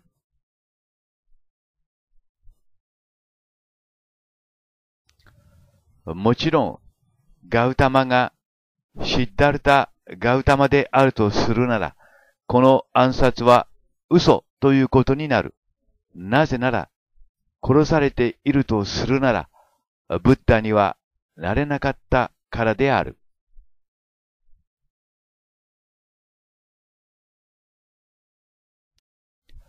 ガウタマの名前で誰か別の人が殺されたとするなら、ダリウスは狡猾にも本当に起きたことを覆い隠すために偽の情報を流したことになる。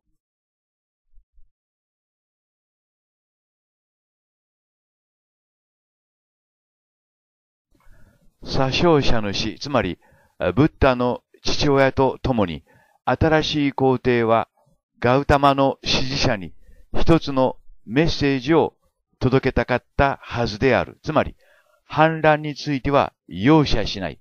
そして、ガウタマという人望のあるリーダーが戻ってくることは許さない。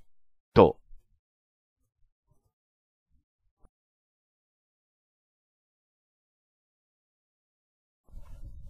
ガウタマに鼓舞された自由思想を持った反乱軍がダリウスに鎮圧されるまで一年以上もかかった残忍な軍事的鎮圧であった。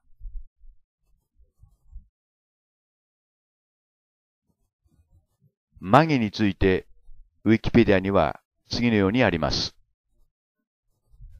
ここで注意したいことは、マギというのは最高位の星と話す人ということになります。メソポタミアでは星イコール神でした。ディンギルでした。そのこともどうか頭に置いて理解してください。えつまり、ガウタマはマギであったということです。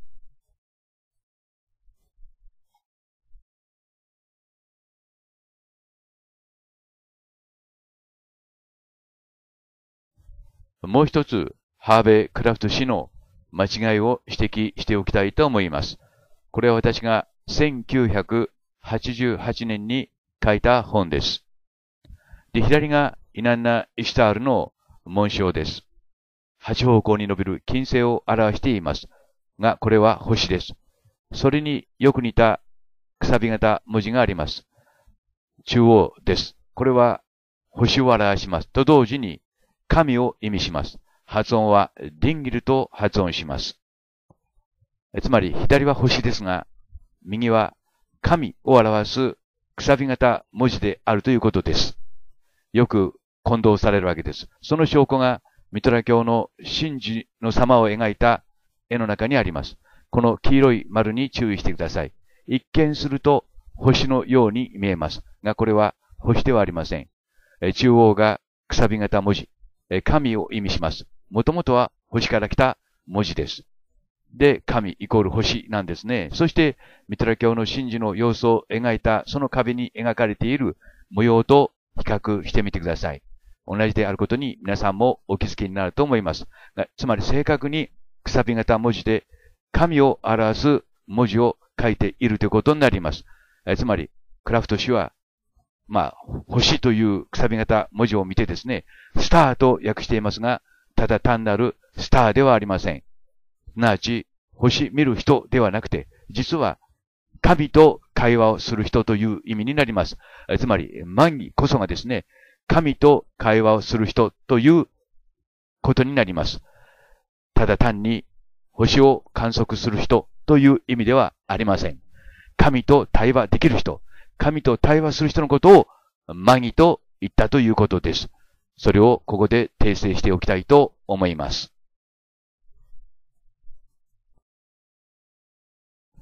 ペルシャの歴史を簡単に振り返ってみたいと思います。ヘロドトスの歴史及びペルセポリスに残る碑文に基づくものです。ヘロドトスの歴史はペルセポリスに残る碑文に基づいていると考えられています。バビロンです。キュルス2世がバビロンを攻略してペルシャ一帯を支配します。で、その息子がカンビュセス2世、またの名をカンブジェと言います。えー残るはエジプトということで、カンビュセス2世はエジプト遠征に出かけることにしましたが、その前に夢のお告げで弟のスメルディスが位を奪うと。まあ、そういった夢を見るわけですね。そこでカンビュセス2世は秘密裏に弟のスメルディスを暗殺します。そしてエジプト遠征に出かけます。で、ペルセポリスの碑文によればですね、その間に、えーストダナ・ゴータマがその位を奪ったと。つまり、ゴーダス者であると。で、それを良しとしないダリウス一世が、えーストダナ・ゴータマを征伐したと。まあ、そういうストーリーなんですね。で、ストダナ・ゴータマ一家は、現在のネパールのルンビニあたりへ逃げていったものと思われます。で、これがまあ私が考えた順序ですけども、一番右が、えーダリウスですね。そして順序からしますと、一番左がカンブジェです。二世ですね。カンブジェです。そして中央が、えーストダナ・ゴータマということになります。ストダナ・ゴータマはマギでした。えーこれがまあ、ペルセポリスの歴史なんですけども、まあ、この中でですね、えーカンブジェス、カンブジェスなわちカンブジェス2世の名前がですね、父、キュルスの、まあ、2世の名前と同時に、円筒印象の中に出てきます。その円筒印象の中に、えー父、キュルスは、マルドックを信仰していたとあります。マルドックすなわち、ラーです。えー、シチンの解読者年度版によれば、マルドックイコールラーということになります。マルドックというのは、延期、すなわちギリシャ神話におけるプロメテウスの息子ということになります。延期の息子がマルドックということになるわけですね。まあ、このバウンダリストの中ではエアーと書いてあります。で、もう一度このヘロドトスに話を戻します。まあ、歴史、まあ、歴史の父とも呼ばれています。まあ、その碑文によればもう一度繰り返しになりますけれども、えーキュルス2世がですね、カン、まあ、バビロンを攻略して、そして、まあ、ペルシャ一帯を支配するわけです。で、残るはエジプトということになるわけですね。で、先ほど言いましたように、夢の告げで弟の、えースメルディスが位を奪うと。それをまあ、あー良しとしない、えーカンュセス2世が弟を殺すと。あのカンビュセス2世はですね、ヘンリー8世と共にですね、歴史の中で暴君として知られています。えーそのまあ暴君中の暴君だったということですね。で、それを、まあ、その間に、えーストダナ・ゴータマが位を奪うと。それを良しとしない、ダリウス一世がストダナ・ゴータマをですね、ペルシャから追い出して、まあ、一年間追い打ちまでかけたということですね。まあ、それがまあ、このペルシャの歴史ということになります。で、そのストダナ・ゴータマの息子がセッダルタ・ゴータマ、すなわちシータルタ・ゴータマということになるわけです。で、ダリウス一世は紀元前522年に位についています。で、足踏みつけているのが、一応これはね、ペルセポリスに残るレリーフですけども、足に踏みつけているのが、ストダナ・ゴータマということになります。えーまあ、ストダナ・ゴータマをですね、捕まえてこのように退治したということを、まあ、レリーフは示している、いるということになります。まあ、あの、クラフトさんはですね、これを、あまあ、一応、シタルタ・ゴータマ、すなわちブタというふうに理解しておられるようです。が、しかし、ストダナ・ゴータマはあくまでもお父さんですからね。その息子がセッタルタ・ゴータマ、すなわちシタルタ・ゴータマということになります。で、もう一度、ペルシャの地図を見ていただきたいんですけども、まあ、これが今の、今申し上げましたのが、ペルシャの、まあ、歴史ということになります。ここで重要なことはですね、えーストダナ・ゴータマこそがですね、まあ、ペルシャにおける、まあ、正当な王位継承者であったということになります。すなわち最高位のマギであったということになるわけですね。えーで、ペルセポリスに紀元前522年に、えーダリウス一世が位につきます。そして、まあ、その後、カンブジ、カンブジエですね。すなわちカンピセス2世がどうなったかについては、また別のところで論じてますけども、私は、えールート1に、いわゆる、まあ、えギザとね、ペルセ、えープレハピヘアをつなぐルート1に沿って、えカンボジアへ逃げていったというふうに考えています。まあ、それともかくも、えここでダリウスが登場して、そして、えいわゆるストーダナ・ゴータマ一家が、え追い出されたということですね。えーまあ、あの、クラフトさんの話によれば、えーセタタ・ゴータマ、すなわちシタタ・ゴータマだけが、現在のネパールへ逃げていったというふうに解釈されています。が、どうもそうではないと私、林博士は判断しています。その証拠をこれから皆さんにお見せします。で、もう一度これ見ていただきたいんですけども、この順番はですね、私がまあ勝手につけた順番ですから、えー、まあ一番左からカンブジェ、なわちカンビセス2世、中央がガウタマ、すなわちストダナ・ゴータマ、すなち、そして3番目がダリウス1世ということになります。まあこれはあくまでも、まあそのような順番ではなかったかなということで、私、林印がそのように並べてみました。ひょっとしたらガウタマが先頭であった可能性もありますね。何しろ、マギですからね。しかし、えー、カンビセス2世は防空中の暴君でした。それは、あの、いろんな記録にもそう書かれています。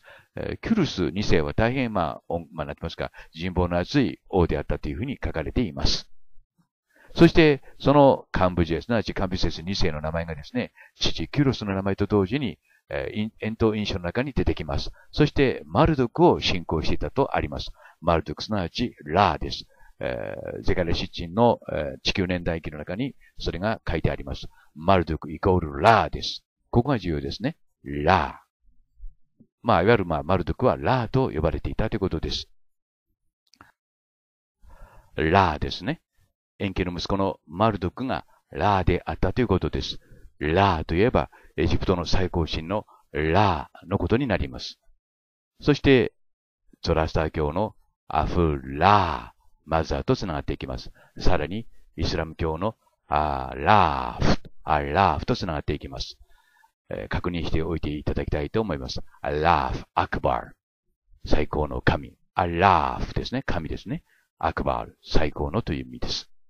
イスラム教の神のアラーフです。それからゾラスター教のアフラー、マズダ。アフラー、アフラーというのは神です。マズダというのは賢い、最も賢いという意味です。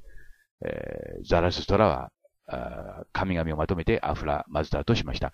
そして、えー、アラーフとラーとアフラーがラーという音で繋がります。つまり、これら三者は一人の神、すなわち太陽神、サンガートとなります。バイ林博士説です。つまり同一の神だということですね。ここが重要です。いいですか？カンブシセス2世は父キュロス2世と共にマルトクすなわちラーを信仰していました。そして、ペルセポリスには世界最古のアフラマズダーの像があります。が、音だけではありません。信仰の仕方も同じです。神に手のひらをかざして信仰します。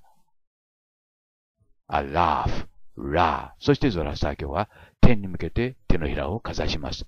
まあ、このように一致していくわけですね。つまり、まあ、カンピュセス2世は、ラーを信仰していた。そして、ダリウス1世が君臨した、紀元前520年に君臨した、ペルセポリスには世界最古のアフラ・マズダー像があるということです。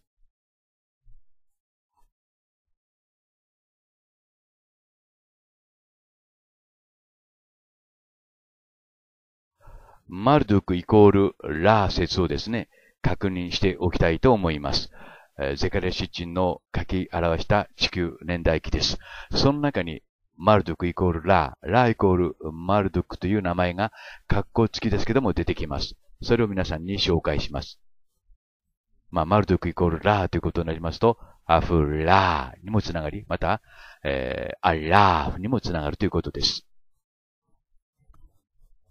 まあ、ゼカルシチンはですね、シュメール、それからメソポタミア、それからバビロンに残る、えー、いわゆる粘土板を解読して、そのような結論を得たと、私、林博士は判断しています。ここに出てきますね。ラー、マルドックは延期の長男でと。確認しておいてくださいね。何箇所か出てきますけどもね。で、もう一箇所がここですね。えエジプトの支配権は、ラー、マルドゥクからトスに移されたと。最高神、ラーですね。そしてもう一箇所、出てきます。つまり、えー、ゼカラシチンは、マルドゥクイコールラーであると、まあ、解読していたということになります。これが根拠です。ここですね。マルドク一番上に出てますね。ラーはエジプトに戻ったと。ラー、マルドクイコール、イコールマルドクってことになるわけです。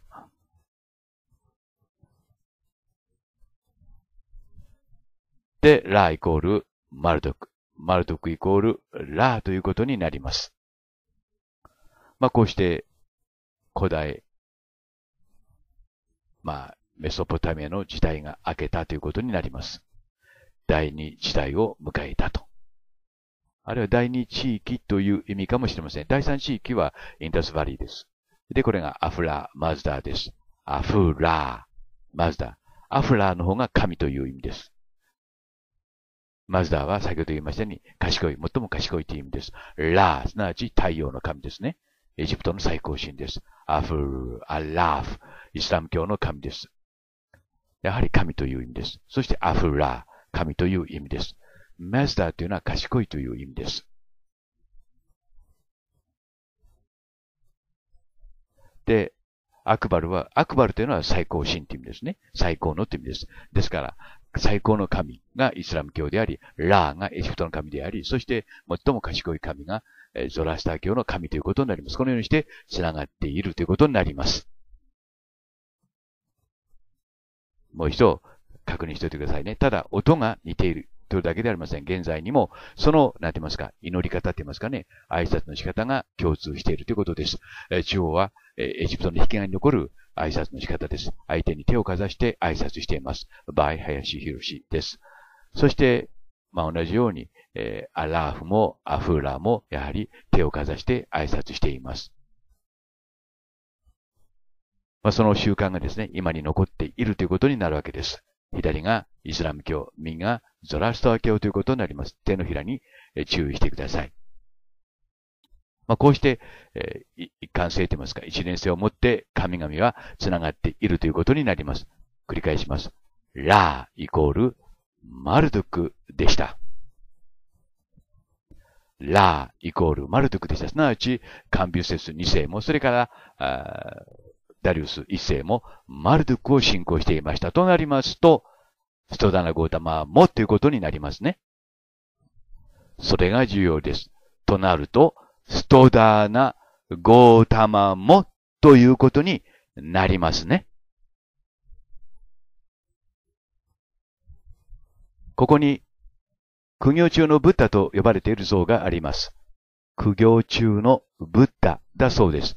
が、この像はどう見てもおかしいですね。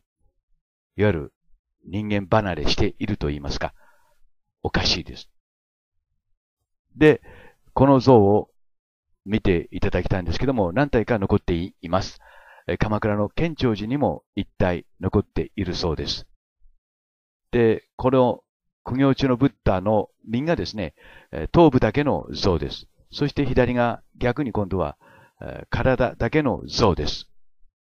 まあ、こういう形で残っているということですね。で、向かって一番右の頭部の像がわかりやすいので、それを使って説明します。えー、で、この像を見ていただくとわかりますように、目の中に目があるのがわかります。いくら痩せてもですね、目の中に目がある。などということはありえないことですね。よく見てください。目の中に下まぶたが表現されています。目の中に目があるわけですね。いわゆるまあ、下まぶたが2枚あるということですね。すなわち私はこれはオーバーオールヘルメットと判断しました。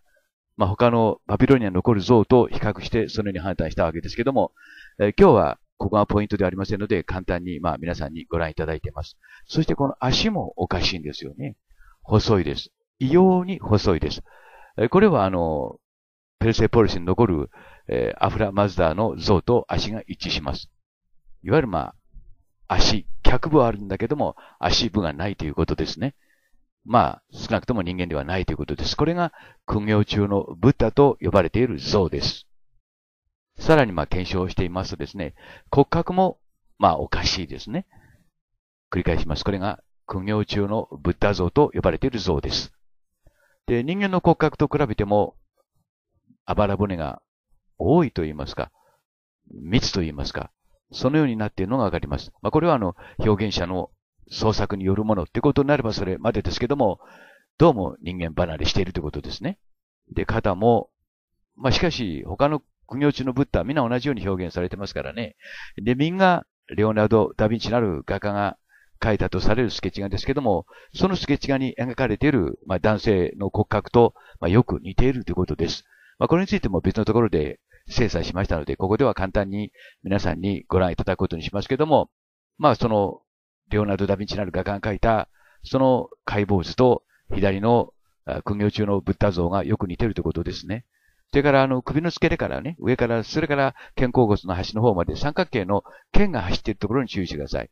で、ダヴィンチの書いた方にはですね、13対の、えー、頸椎があります。で、実際には7対ですからね。まあ、少なくともダヴィンチの書いたのは人間ではないということになります。そのダヴィンチの書いた、まあ、スケッチ画と、いわゆる苦行中のブッダの、えー、骨格が似ているということですね。この特に黄色い部分ですね。頭から肩の先の方まで剣が伸びていると。まあ、ダヴィンチは、まあ、同じタイプのまあ、ヒューマノイドを書いたということになります。まあ、そのような証明も別のところでしました。要するに、まあ、苦行中のブッダというのは、まあ、人間ではないということになります。では、誰かということになるわけですね。その誰かという部分で、実は、このブッダが、まあ、ブッダと、苦行中のブッダと言われているこの人こそがですね、ストダナ・ゴータマであるという証拠が、実はこの像そのものにありました。それをこれから皆さんに紹介しますが、右はセント・ジェロームの絵です。やはり、ダヴィンチなる画家が描いたとされてますけども、骨格が大変よく似ています。まあ、そんなところにちょっと注意してくださいね。まあ、繰り返しますけど、ここが今日のポイントではありませんので、まあ、ここは、おお、違うな、というような程度で見てくだされば結構です。で、この苦行地のブッダこそが、ストダーナ・ゴータマでした。ストダーナ・ゴータマでした。その証拠をこれから皆さんにお見せします。もう一度、サント・アポリナーレ・ヌーボーのモザイク画に戻ってください。で、一番左がダリウス一世でしたね。そして、まあ一応一番右がですね、カンビュセス二世、あるいはカンブジアとも呼ばれていましたけども、カンビュセス二世です。えー、カンビュセス二世はですね、父親キュールスと一緒に、えー、マルトクを信仰していました。そして、えー、ダリウス一世はですね、紀元前522年に、えー、ペルセポリスで王に即位します。そのペルセポリスには世界最古のアフラ・マザーの、ー、レディフが残っています。なとなると、中央のストダナ・ゴータマがですね、道をこのように順番に並べてみたんですけども、が無縁であるとは考えるのは無理ですね。で、クラフトさんの説によると、これがシッタルタ・ゴータマって言われてますけど、ということになりますけども、これはシッタルタ・ゴータマではありません。ストダナ・ゴータマです。その証拠がですね、この台座のところに残っています。台座のところで二人の僧がですね、松明を囲んでですね、何やら神事を行っています。この神事はゾラスター教の神事です。上が現在のゾラスター教の神事の様子です。同じように火を囲んでですね、このように神事を取り行います。中部過去のください。すなわち、この像はですね、ブッダではなくて、ブッダのお父さんのペルセポリスにいた、ペルセポリスにいた、そのお父さんのストダナ・ゴータマということになります。ストダナ・ゴータマということになります。クラフトさんの説をですね、私はここで訂正したいと思います。まあ、ゾラスター教の信条を行っているということですね。もう一枚証拠があります。これは世界最古のブッダの絵と言われているものです。このブッダのなるものの絵のですね、後輩を見てください。奇妙な後輩が描かれています。何やら模様のようにも見えますけども、これもゾラスター教で使う神事の松明です。神事の松明です。注意深くご覧ください。松明が、まあ、描き込んであるということですね。で、これだけではわかりないかもしれませんけども、同じものがですね、えインド政府がソヨに送ったシバ神の後輩にも描かれています。これは、え今言いましたように、インド政府がソヨに送った欧州原子力研究開発機構ですか、そこに送ったえ松明です。右が現在、ゾラスター教で使っている松明です。三者を見比べてみてください。同じですね。ということは、一番左のブッダ像、ブッダなる像、まあ、ブッダ像ではありませんけどもね、ブッダの像の周、まあ、後輩には、えー、松明が描いてあるということですね。この両者を並べて考えてみてください。これら、まあ、二人、まあ、ここに描いてある、まあ、ブッダ像、ブッダなる像はですね、ブッダではなくて、お父さんのストダナ・ゴータマということになります。すなわち、ペルセポリス出身のですね、ストダナ・ゴータマもやはり、えー、ゾラスター教を信仰していた、すなわちマルドク・ラーを信仰していたということになります。ここが今日の一つの重要なポイントですから、もう一度比べてみてください。左下がこれがです。インド政府がさらに送った芝神像です。右がミトラ像です。芝神像もミトラ棒を被っています。えー、そして、まあ、その像のですね、周りに、えー、後輩のような形で、えー、ゾラスター教の松明が描かれているということです。そして、そのエヴァですね。これもやはり、ブッダ像ということになってますけど、これはブッダではなくて、ブッダのお父さんの、えー、ソダのゴーダマということになります。すなわち、この松明がその証拠です。ネパールで生まれ育ったブッダがですよ。お父さんもネパールで生まれ育ったお父さんがですよ。このようなゾラスター教の神事の様子を掘り込んだり、絵に描いたりするなどということはありえないことです。すなわち、お父さんがですね、えー、ペルセポリス出身の、いわゆる、まあ、マギであったという、これが防証になります。トラスター教の、まあ、創始者ということになるわけですけどもね、それはこれから説明します。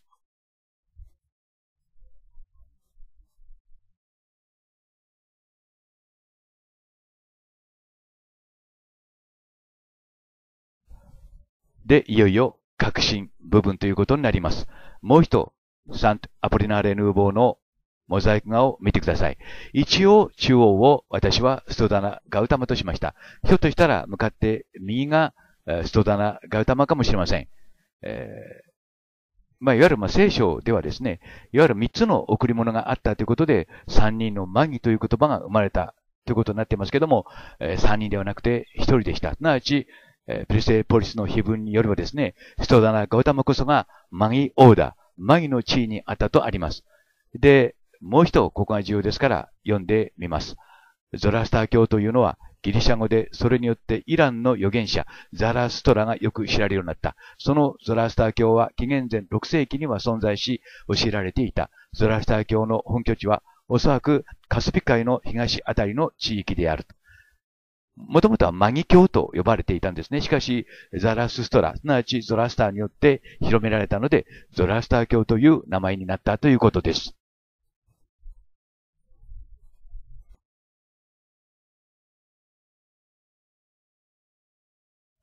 ゾラスター教の基本理念は、数多くのインド、イランの伝統的な神々、すなわちアフラを最高神であるアフラ・マズダ、賢い神という意味ですけども、に置き換える一神教であったということです。まあ、ザラスストラ、すなわちゾラスターが一神教にまとめ、まとめ上げた。それがゾラスター教ということになります。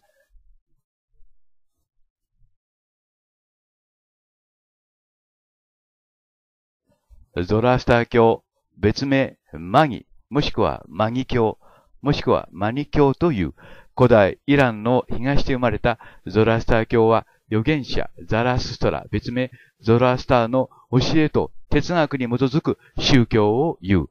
以前は世界最大の宗教であった。それがゾラスター教だということですね。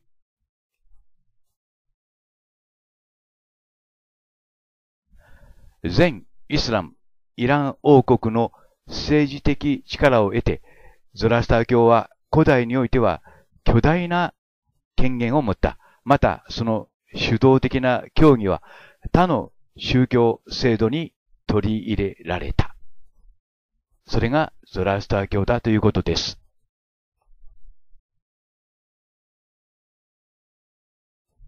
そして、マギについてです。マギという言葉が今日の動画のキーワードということになります。マギ。この言葉は紀元前5世紀以前からはイランの文献に二度現れる。言い換えますと二度しか現れていない。ここに5世紀と書いてありますけども別の文献によれば紀元前には二度しか現れていません。そのうち一度だけは日付が正確にわかっている。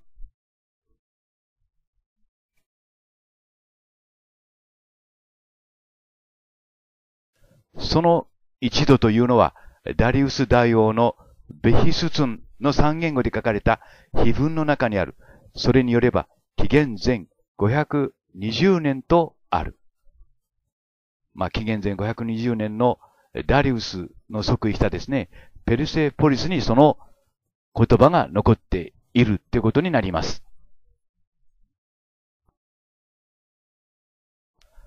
他の一例は、アベスタの中の文の中である。つまり、ゾラスター教の聖なる文献の中である。つまり、ゾラスター教の経典の中ということになります。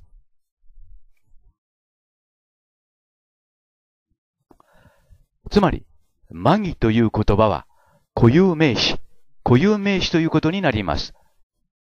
ゾラスター教の経典の中に書かれているマギというのはザラスストラ、別名ゾロアスター自身ということになります。一方、ペルセポリスの碑文に書かれているマギというのは、そのままストダーナ、ガウタムということになります。となりますと、マギは固有名詞ですから、ザラスストライコール、ブッダのお父さんのストダーナ、ガウタマということになります。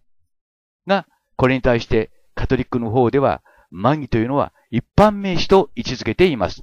一般名詞と位置づけないとまずいからです。というのも、イエス・キリストが降誕した時に、三人のマギがやってきて、イエスの誕生を祝ったと教えているからです。が、そんなことはありえないことはもう皆さんお分かりですね。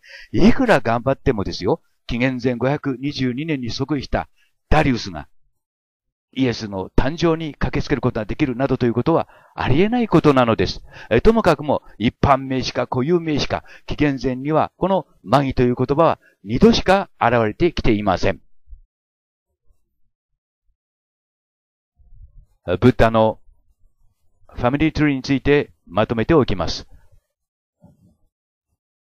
ザラスストラです。別名ゾラスターです。そのゾラスターがマギ教を起こします。ゾラスターによって広められたので、ゾラスター教と呼ばれるようになりました。ザラスストラすなわち、ゾラスターはマギでした。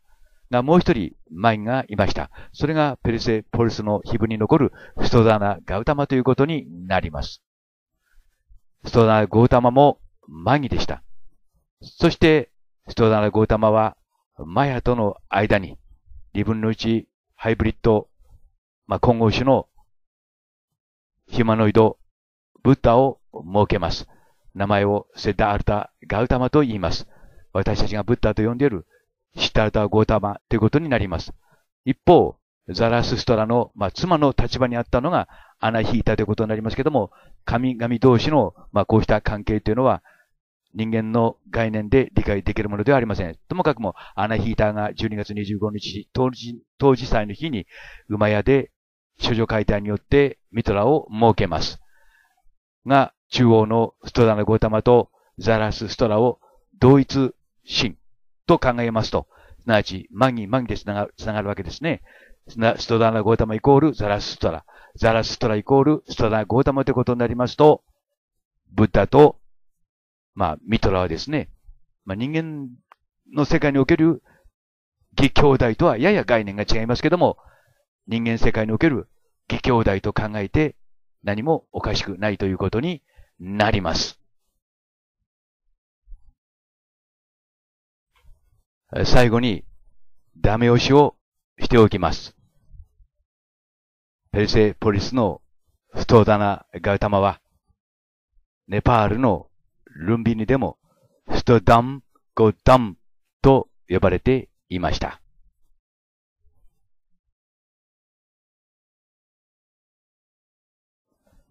ギリシャの歴史家、ヘロドトスです。紀元前485年から420年頃の歴史家と言われています。そのヘロドトスが歴史という本を表します。世界最古の歴史書です。そのため、ヘロドトスは歴史の父とも呼ばれています。その歴史の中に、ストダーナ・ガウタマという名前が現れます。マギです。そして一方、ヘルセポリスの碑文の中に、そのストダーナ・ガウタマという名前と、その息子のセッタ・アルタ・ゴータマという名前が出てきます。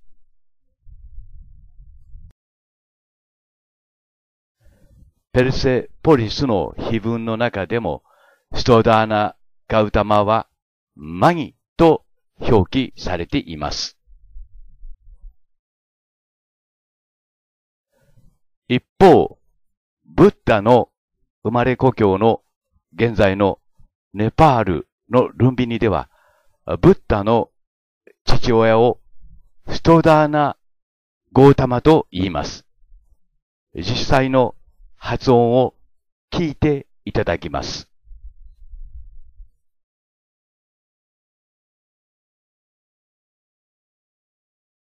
じゃじゃあここからが重要ですからもう一度お願いしますブッダのパパは名前を教えていただけますか？スットダン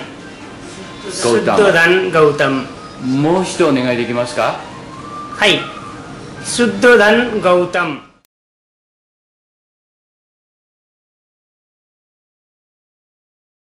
仏陀のパパは名前を教えていただけますか？スットダンガウタム,もう一度お願いできますか？はい。शुद्धोधन Gautam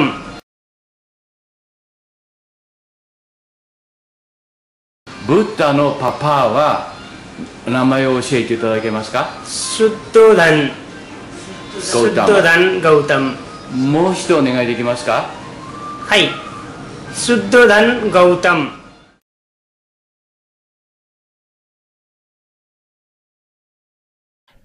今お聞きくださいましたようにネパールのルンビニでは、ストダン・ゴータマ、ストダン・ゴータマと発音しているそうです。プレセポリスでは、ストダーナ・ガウタマと表記されています。ルンビニでは、ストダン・ゴータマです。では、そのストダン・ゴータマの息子、つまり私たちがブッダと呼んでいるシッダルタ・ゴータマはどのように発音されているかどうかお聞きください。ブッダ自身の名前はシッダルタ・ゴータマですね。はい。シッダルタ・ゴータマというのはネパールでは何と言いますか？Gautam Buddha Siddhartha Gautam 正式には何と言いますか？シあのシッダルタ・ゴータマ・ブッダ。Buddha はい。あれはブッダ・シッダルタ・ゴータマ。Siddha- Gauta Siddhartha Gautam でブッダというのは？Buddha どっちも同じ名前。Buddha どちらの方シッがダータ・ゴータムあブッダの方が一番有名。でシッダルタ・ゴータマというふうな名前もあるわけだ。あはいそうですブッダ自身の名前はシッダルタ・ゴータマですね。はい。シッダルタ・ゴータマというのはネパールでは何と言いますか？あゴータム・ブッダ。シッダータ・ゴータム。正式には何と言いますか？シあのシッダルタ・ゴータマ・ブッダ。ブッダ。はい。あれはブッダ・シッダルタ・ゴータマ。シッダゴータシッダータ・ゴータム。でブッダというのブはッダどっちも同じ名前。ブッダ。どちらの方シッがダータ・ゴータム。あブッダの方が一番有名。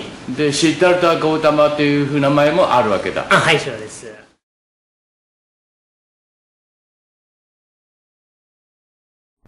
ヘロドトスの歴史、そしてペルセポリスの碑文には、ストダーナ・ガウタマという名前が記されています。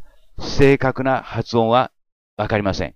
そして、ペルセポリスの碑文には、ストーダーナ・ゴウタマという名前と、そして息子のセダ・アルタ・ゴータマという名前が記されています。正確な発音はわかりません。しかし、現在の今、ネパールのルンビニでは、ブッダのことをシッダルタ・ゴータマと言います。そして、お父さんの名前がスダン・ゴータマというそうです。もう一度発音をお聞きください。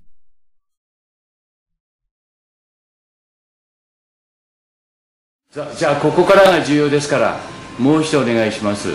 ブッダのパパは名前を教えていただけますか？Suddhodan Suddhodan Gautam もう一度お願いできますか？はい。Suddhodan Gautam ブッダ自身の名前はシッタルタ・ゴータマですね。はい。シッタルタ・ゴータマというのはネパールでは何と言いますか？ガウタム・ブッダ。シッダータ・ガウタム。正式には何と言いますか？シあのシッタルタ・ゴータマ・ブッダ。ブッダ。はい。あれはブッダ・シッタルタ・ゴータマ。シッダガウタ。シッダータ・ガウタム。でブッダというのブはッダどっちも同じ名前。ブッダ。どちらの方シッがダータ・ガウタム。あブッダの方が一番有名。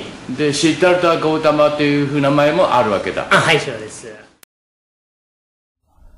また、母親のマヤの発音について、ネパールのルンビニではどのように発音しているか、注意深くお聞きください。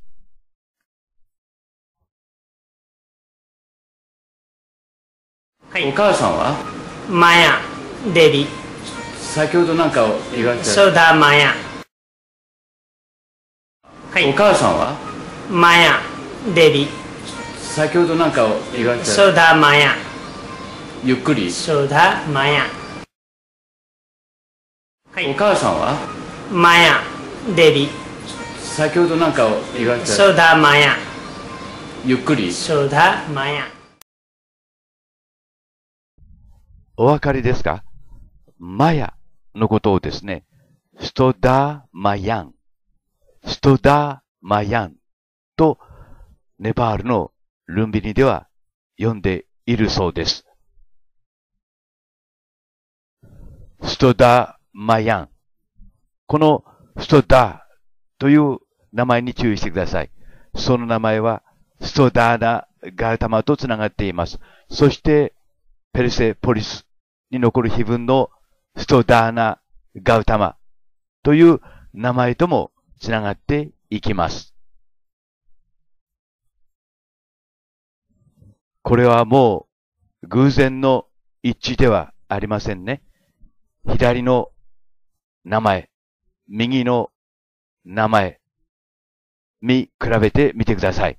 すなわち、ペルセポリスのストーダナ・ガウタマが、ネパールのルンビニのストダナ・ガウタマであり、ペルセポリスのセッタ・アルタ・ガウタマが、ネパール、ルンビニのシッダルタ・ゴータマということになります。そして、母親のマヤはですね、ストダ・マヤン。ストダ・マヤンです。名前がつながっているということです。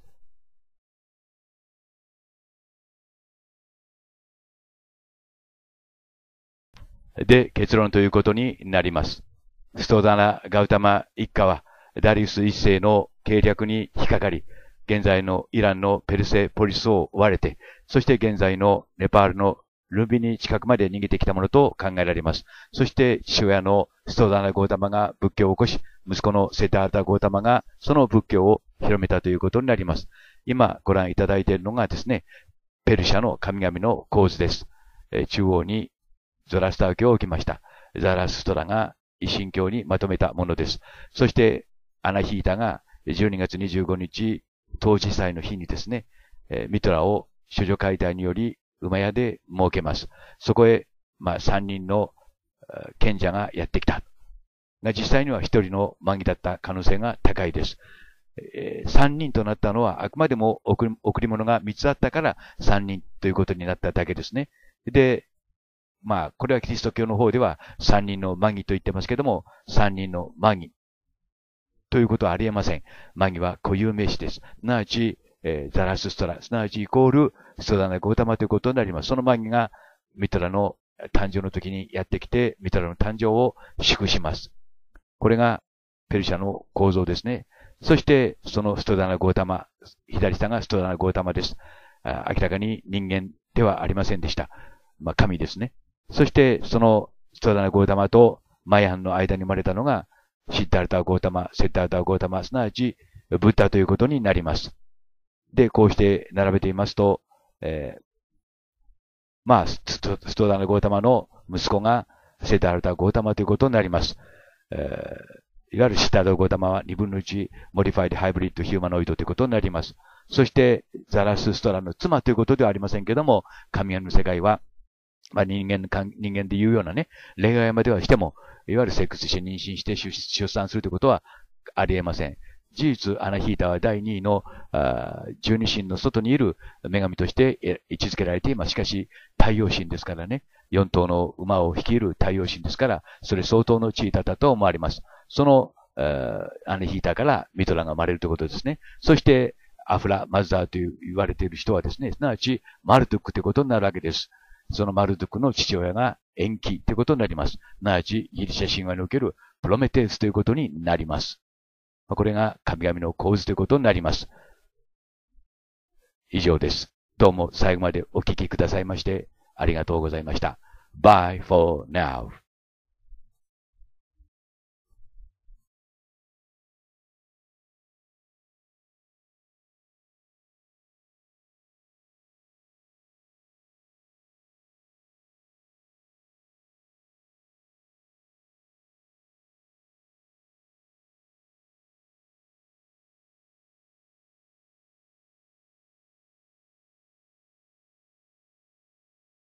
今日の動画の主人公はアナヒータです。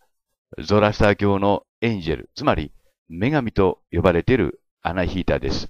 そのアナヒータについて、パヤム・ナバルツという方が、まあ、こんな本を書いておられます。その冒頭でアナヒータについて、このように説明しています。パヤン・ナバルツ氏の書いたアナヒータ及びササン帝国に残るレリーフによれば、インド、イランにまたがるアナヒータは、古代ペルシャの女神である。そのアナヒータは、ゾラスター教のヤザタ、つまりエンジェルのことであり、現在のゾラスター教においても女神である。美しい女性として表現されているが、アナヒータは強く、背が高く、純粋で、金で刺繍されたマントを身にまとい、またその手にはバレスマ、つまり聖なる植物を持った女神として表現されている。アナヒータは地球のすべての水の女神でもある。正式にはアレドビスラアナヒータと呼ばれる。水気があり、力があり、純粋という意味である。アナヒータは四頭立ての戦車で駆け巡る。つまり、風、雨、雲、そして、みぞれという名前の馬である。アナヒータは王権を付与されていて、権威の女神であり、ペルシャのアフロディティと考える人もいる。実際、数多くの古代の女神、例えば、イシター、ヴィーナス、ナナ、イシスなどとの類似点もある。アナヒータは、浄化、純粋という役目の他に、キリスト教に先立つミトラのバージンマザーでもある。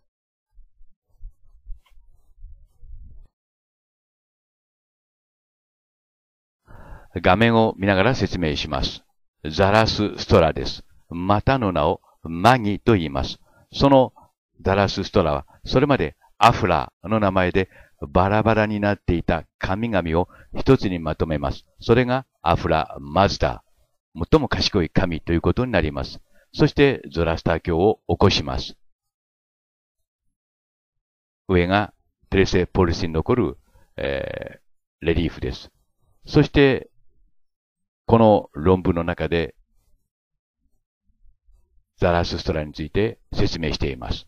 まあ、簡単にまとめますと、ザラスストラ、いろいろな名前で呼ばれています。が、このザラスストラこそがですね、マギということになります。つまり、ゾラスター教の経典に出てくるマギというのは、ザラストラ自身であったということになります。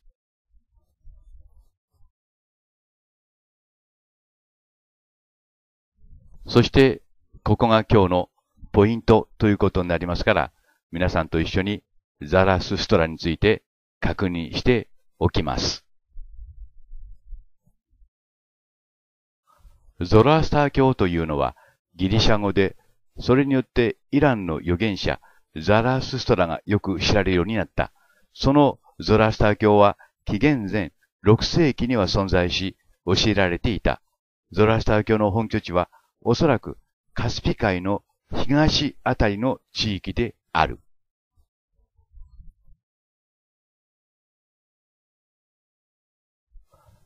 ゾラスター教の基本理念は、数多くのインド、イランの伝統的な神々、つまりアフラを最高神であるアフラ・マズダーに置き換える一神教であった。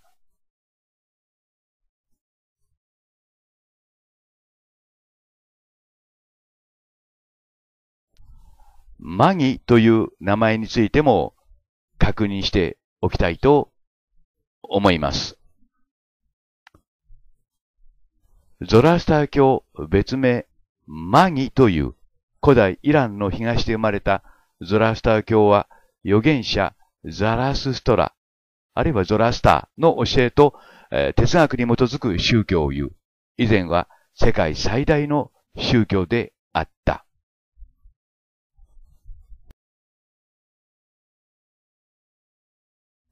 全イスラム、イラン王国の政治的力を得て、ゾラスター教は古代において巨大な権限を持った。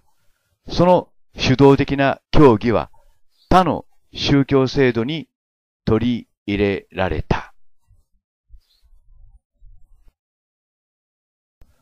つまり、マギ教は創始者ザラスストライコールゾラスターの名前で広く知れ渡るようになったということです。そして現在、ゾラスター教と呼ばれるようになったということです。